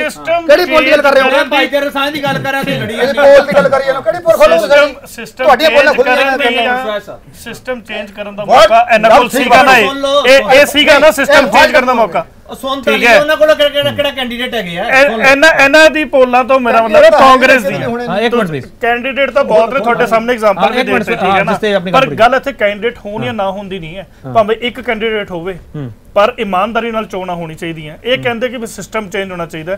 ਅੱਜ ਦੀ ਡੇਟ ਸਿਸਟਮ ਚੇਂਜ ਕਰਨ ਦੀ ਤਾਕਤ ਇਹਨਾਂ ਕੋਲ ਹੈ ਨਾ। ਅੱਜ ਦੀ ਡੇਟ ਦੇ ਵਿੱਚ ਜੇ fair and free and fair election ਹੁੰਦੀ ਤਾਂ ਅਸੀਂ ਵੀ ਇਹਨਾਂ ਦੀ ਬਿਲਕੁਲ ਕਰਦੇ ਹਾਂ, ਫੇਰ ਇਲੈਕਸ਼ਨ ਹੋ। ਰਹੀ ਹੈ ਬਾਰ ਬਾਰ ਜਿਹੜਾ ਕਹਿੰਦਾ ਨਾ ਸਵੀਪਿੰਗ ਨਹੀਂ, ਲੱਗਣਾ ਕੋਈ ਨਹੀਂ, ਸੁਣੋ ਮੇਰੀ ਅੱਜ ਨਹੀਂ, ਅੱਜ ਸਿਸਟਮ ਦੇਖੋ, ਚੇਂਜ ਕਰਨ ਦੀ ਤਾਕਤ ਨਹੀਂ। ਨਹੀਂ ਹੁਣ ਤੁਸੀਂ ਨਾ ਡਿਬੇਟ 'ਚ ਧੱਕਾ ਨਾ ਕਰੋ। ਫੀਲਡ ਫੀਲਡ 'ਚ ਤੇ ਧੱਕਾ ਕਰ ਲਿਆ। ਡਿਬੇਟ 'ਚ ਧੱਕਾ ਨਹੀਂ ਚੱਲਣਾ ਤੁਹਾਡਾ। ਡਿਬੇਟ 'ਚ ਧੱਕਾ ਨਹੀਂ ਇਲੈਕਸ਼ਨ ਫ੍ਰੀ ਇਲੈਕਸ਼ਨ ਹੋ ਰਿਹਾ ਦੋ ਆਓ ਦੇ ਕੈਂਡੀਡੇਟ ਵਿੱਚ ਹੁੰਦਾ ਇਹਨਾਂ ਨੂੰ ਤੁਹਾਡੇ ਕੋਲ ਉਮੀਦਵਾਰ ਤਾਂ ਹੈ ਨਹੀਂ। ਲੜਨ ਦੀ ਲੋੜ ਨਾ ਪੈਂਦੀ ਜਿਹਨਾਂ ਨੇ ਉਮੀਦਵਾਰ ਤਾਂ ਹੈ ਪੌਣੇ ਤੁਹਾਡੇ 2 ਕੋਲ। ਸਾਲ ਇਹਨਾਂ ਨੇ ਕੁਝ ਕੀਤਾ ਹੁੰਦਾ। ਇਹਨਾਂ ਨੂੰ ਪਤਾ ਤਾਂ ਹੈ। ਕਿ ਇਹਨਾਂ ਨੇ ਕੁਝ ਨਹੀਂ ਕੀਤਾ। ਗਰੀਬ ਹੋਰ ਗਰੀਬ ਹੋ ਗਿਆ ਅਮੀਰ ਹੋਰ ਅਮੀਰ ਹੋ ਰਿਹਾ ਪੰਜਾਬ ਜਨਰਲ ਗੱਲ ਕਰਦੇ ਕਿਸਾਨ ਜੀ। ਆਹ ਬਈ 750 ਵਾਹ, ਕਿਸਾਨ ਮਰ ਗਿਆ। ਕਰੋ। ਸਾਢੇ Incident ਲੈ ਕੇ ਆਓ। 750 ਕਿਸਾਨ ਨੇ ਸੁਸਾਈਡ ਕਰ ਲਿਆ ਕੈਪਟਨ ਸਾਹਿਬ ਦੇ ਆਉਣ ਤੋਂ ਬਾਅਦ। ਅੱਜ ਦੀ ਰਿਪੋਰਟ ਹੈ ਤਾਜ਼ਾ। 48 ਕਿਸਾਨ ਨੇ ਅਗਸਤ ਦੇ ਵਿੱਚ ਸੁਸਾਈਡ ਕਰ ਲਿਆ। ਤੇ ਇਹ ਗੱਲਾਂ ਕਰਦੇ ਚੋਣਾਂ ਜਿੱਤਣ ਦੀਆਂ। ਇਹ ਜਿੱਤ ਇਹ ਧੱਕਾ ਤਾਂ ਹੀ ਹੋ ਰਿਹਾ ਕਿਉਂਕਿ ਪਤਾ ਕਿ ਲੋਕੀ ਇਹਨਾਂ ਤੋਂ ਪਰੇਸ਼ਾਨ ਨੇ। ਸਵੀਪਿੰਗ ਗੱਲ ਨਾ ਕਰੋ ਜਨਰਲ ਗੱਲ ਨਾ ਕਰੋ ਇਨਸੀਡੈਂਟ ਦੀ ਗੱਲ ਕਰੋ ਦੱਸੋ ਕਿੱਥੇ ਕਿੱਥੇ ਜਿਹੜਾ ਹੋਇਆ ਹੈ ਜਿਹੜਾ ਤੁਹਾਡਾ ਕੈਂਡੀਡੇਟ ਭੱਜਿਆ ਉੱਥੇ ਤੁਹਾਡਾ ਕੈਂਡੀਡੇਟ ਭੱਜਿਆ ਦੇਖ ਲਿਆ? ਅਕਾਲੀ ਦਲ ਨੂੰ ਖੁਦ ਉਮੀਦਵਾਰ ਨਹੀਂ ਮਿਲ ਤੁਹਾਡੀ ਰਿਹਾ। ਇਸ ਗੱਲ ਤੇ ਕੇਪੀ ਜੀ ਨੇ ਵੀ ਉਮੀਦਵਾਰ ਨਹੀਂ ਮਿਲ ਰਿਹਾ। ਚਲੋ ਬਹੁਤ ਧੰਨਵਾਦ ਮੈਂ ਕੋ ਵੱਡੇ ਨਹੀਂ ਹੈ ਸਵੈਸ ਤੁਹਾਡਾ ਬਹੁਤ ਜੰਗਵੀਰ ਤੁਹਾਡਾ ਬਹੁਤ ਧੰਨਵਾਦ। ਤੁਹਾਡਾ ਬਹੁਤ ਰਾਜਨਮਾਨ ਤੁਹਾਡਾ ਬਹੁਤ ਧੰਨਵਾਦ। ਲੋਕਤੰਤਰ ਲੋਕਤੰਤਰ ਮਜ਼ਬੂਤ ਕਿਵੇਂ ਹੋਵੇਗਾ? ਲੋਕਤੰਤਰ ਮਜ਼ਬੂਤ ਤਾਂ ਹੀ ਹੋਵੇਗਾ ਜੇ ਜਮਹੂਰੀਅਤ ਦਾ ਪਹਿਲਾ ਪਾਵਾ ਮਜ਼ਬੂਤ ਹੋਵੇਗਾ। ਪਰ ਉਸ ਦੀ ਮਜ਼ਬੂਤੀ ਲਈ ਕਿੰਨਾ ਕੰਮ ਹੋ ਰਿਹਾ ਇਸ ਚਰਚਾ ਵਿੱਚੋਂ ਕੁਝ ਚੀਜ਼ਾਂ ਤਾਂ ਬਾਹਰ ਨਿਕਲ ਕੇ ਆਈਆਂ ਹੈਗੀਆਂ ਕਿ ਅੱਗੇ ਵੀ ਇਦਾਂ ਹੁੰਦਾ ਰਹੇਗਾ। ਪਰ ਕਦੋਂ ਤੱਕ? ਸਾਡਾ ਸਵਾਲ ਇੱਕੋ ਹੀ ਹੈ ਲੋਕਸ਼ਾਹੀ ਚ ਧੱਕੇਸ਼ਾਹੀ ਕਦੋਂ ਤੱਕ ਚੱਲਦੀ ਰਹੇਗੀ 19 ਸਤੰਬਰ ਨੂੰ ਚੋਣਾਂ ਹੋਣਗੀਆਂ 22 ਨੂੰ ਨਤੀਜੇ ਹੋਣਗੇ। 19 ਨੂੰ ਤੁਹਾਡੇ ਸਾਹਮਣੇ ਕੀ ਹੁੰਦਾ 22 ਨੂੰ ਤੁਹਾਡੇ ਸਾਹਮਣੇ ਕੀ ਹੁੰਦਾ ਸਾਰੀਆਂ ਤਸਵੀਰਾਂ ਤੁਹਾਨੂੰ ਦਿਖਾਵਾਂਗੇ ਕਿਉਂਕਿ ਲੋਕਸ਼ਾਹੀ ਵਿੱਚ ਧੱਕੇਸ਼ਾਹੀ ਹੋ ਰਹੀ ਹੈ। ਇਹਦਾ ਮਤਲਬ ਲੋਕਤੰਤਰ ਦਾ ਕਤਲ ਹੋ ਰਿਹਾ। ਜੇ ਲੋਕਤੰਤਰ ਦਾ ਕਤਲ ਹੋ ਰਿਹਾ ਤੇ ਆਵਾਜ਼ ਚੁੱਕਣੀ ਪਵੇਗੀ। ਨਹੀਂ ਤਾਂ ਨਾ ਤਾਂ ਤੁਹਾਡੇ ਮੁੱਦਿਆਂ ਦੀ ਗੱਲ ਹੋਵੇਗੀ। ਇਹ ਲੜ ਕੇ ਚਲੇ ਜਾਣਗੇ ਚੋਣਾਂ ਹੋ ਜਾਣਗੀਆਂ ਫਿਰ ਕੁਝ ਸਾਲਾਂ ਬਾਅਦ ਫਿਰ ਆ ਜਾਣਗੇ ਚੋਣਾਂ। ਵਾਸਤੇ ਤੁਹਾਨੂੰ ਫਿਰ ਅੱਗੇ ਕਰ ਦੇਣਗੇ। ਇਹਨਾਂ ਦੀ ਨਬਜ਼ ਸਮਝੋ ਇਹ ਕੀ ਕਰ ਰਿਹਾ ਤੁਹਾਨੂੰ ਤੋੜ ਰਿਹਾ ਟੁੱਟੋ ਨਾ ਜੁੜੋ। ਬਹੁਤ ਧੰਨਵਾਦ।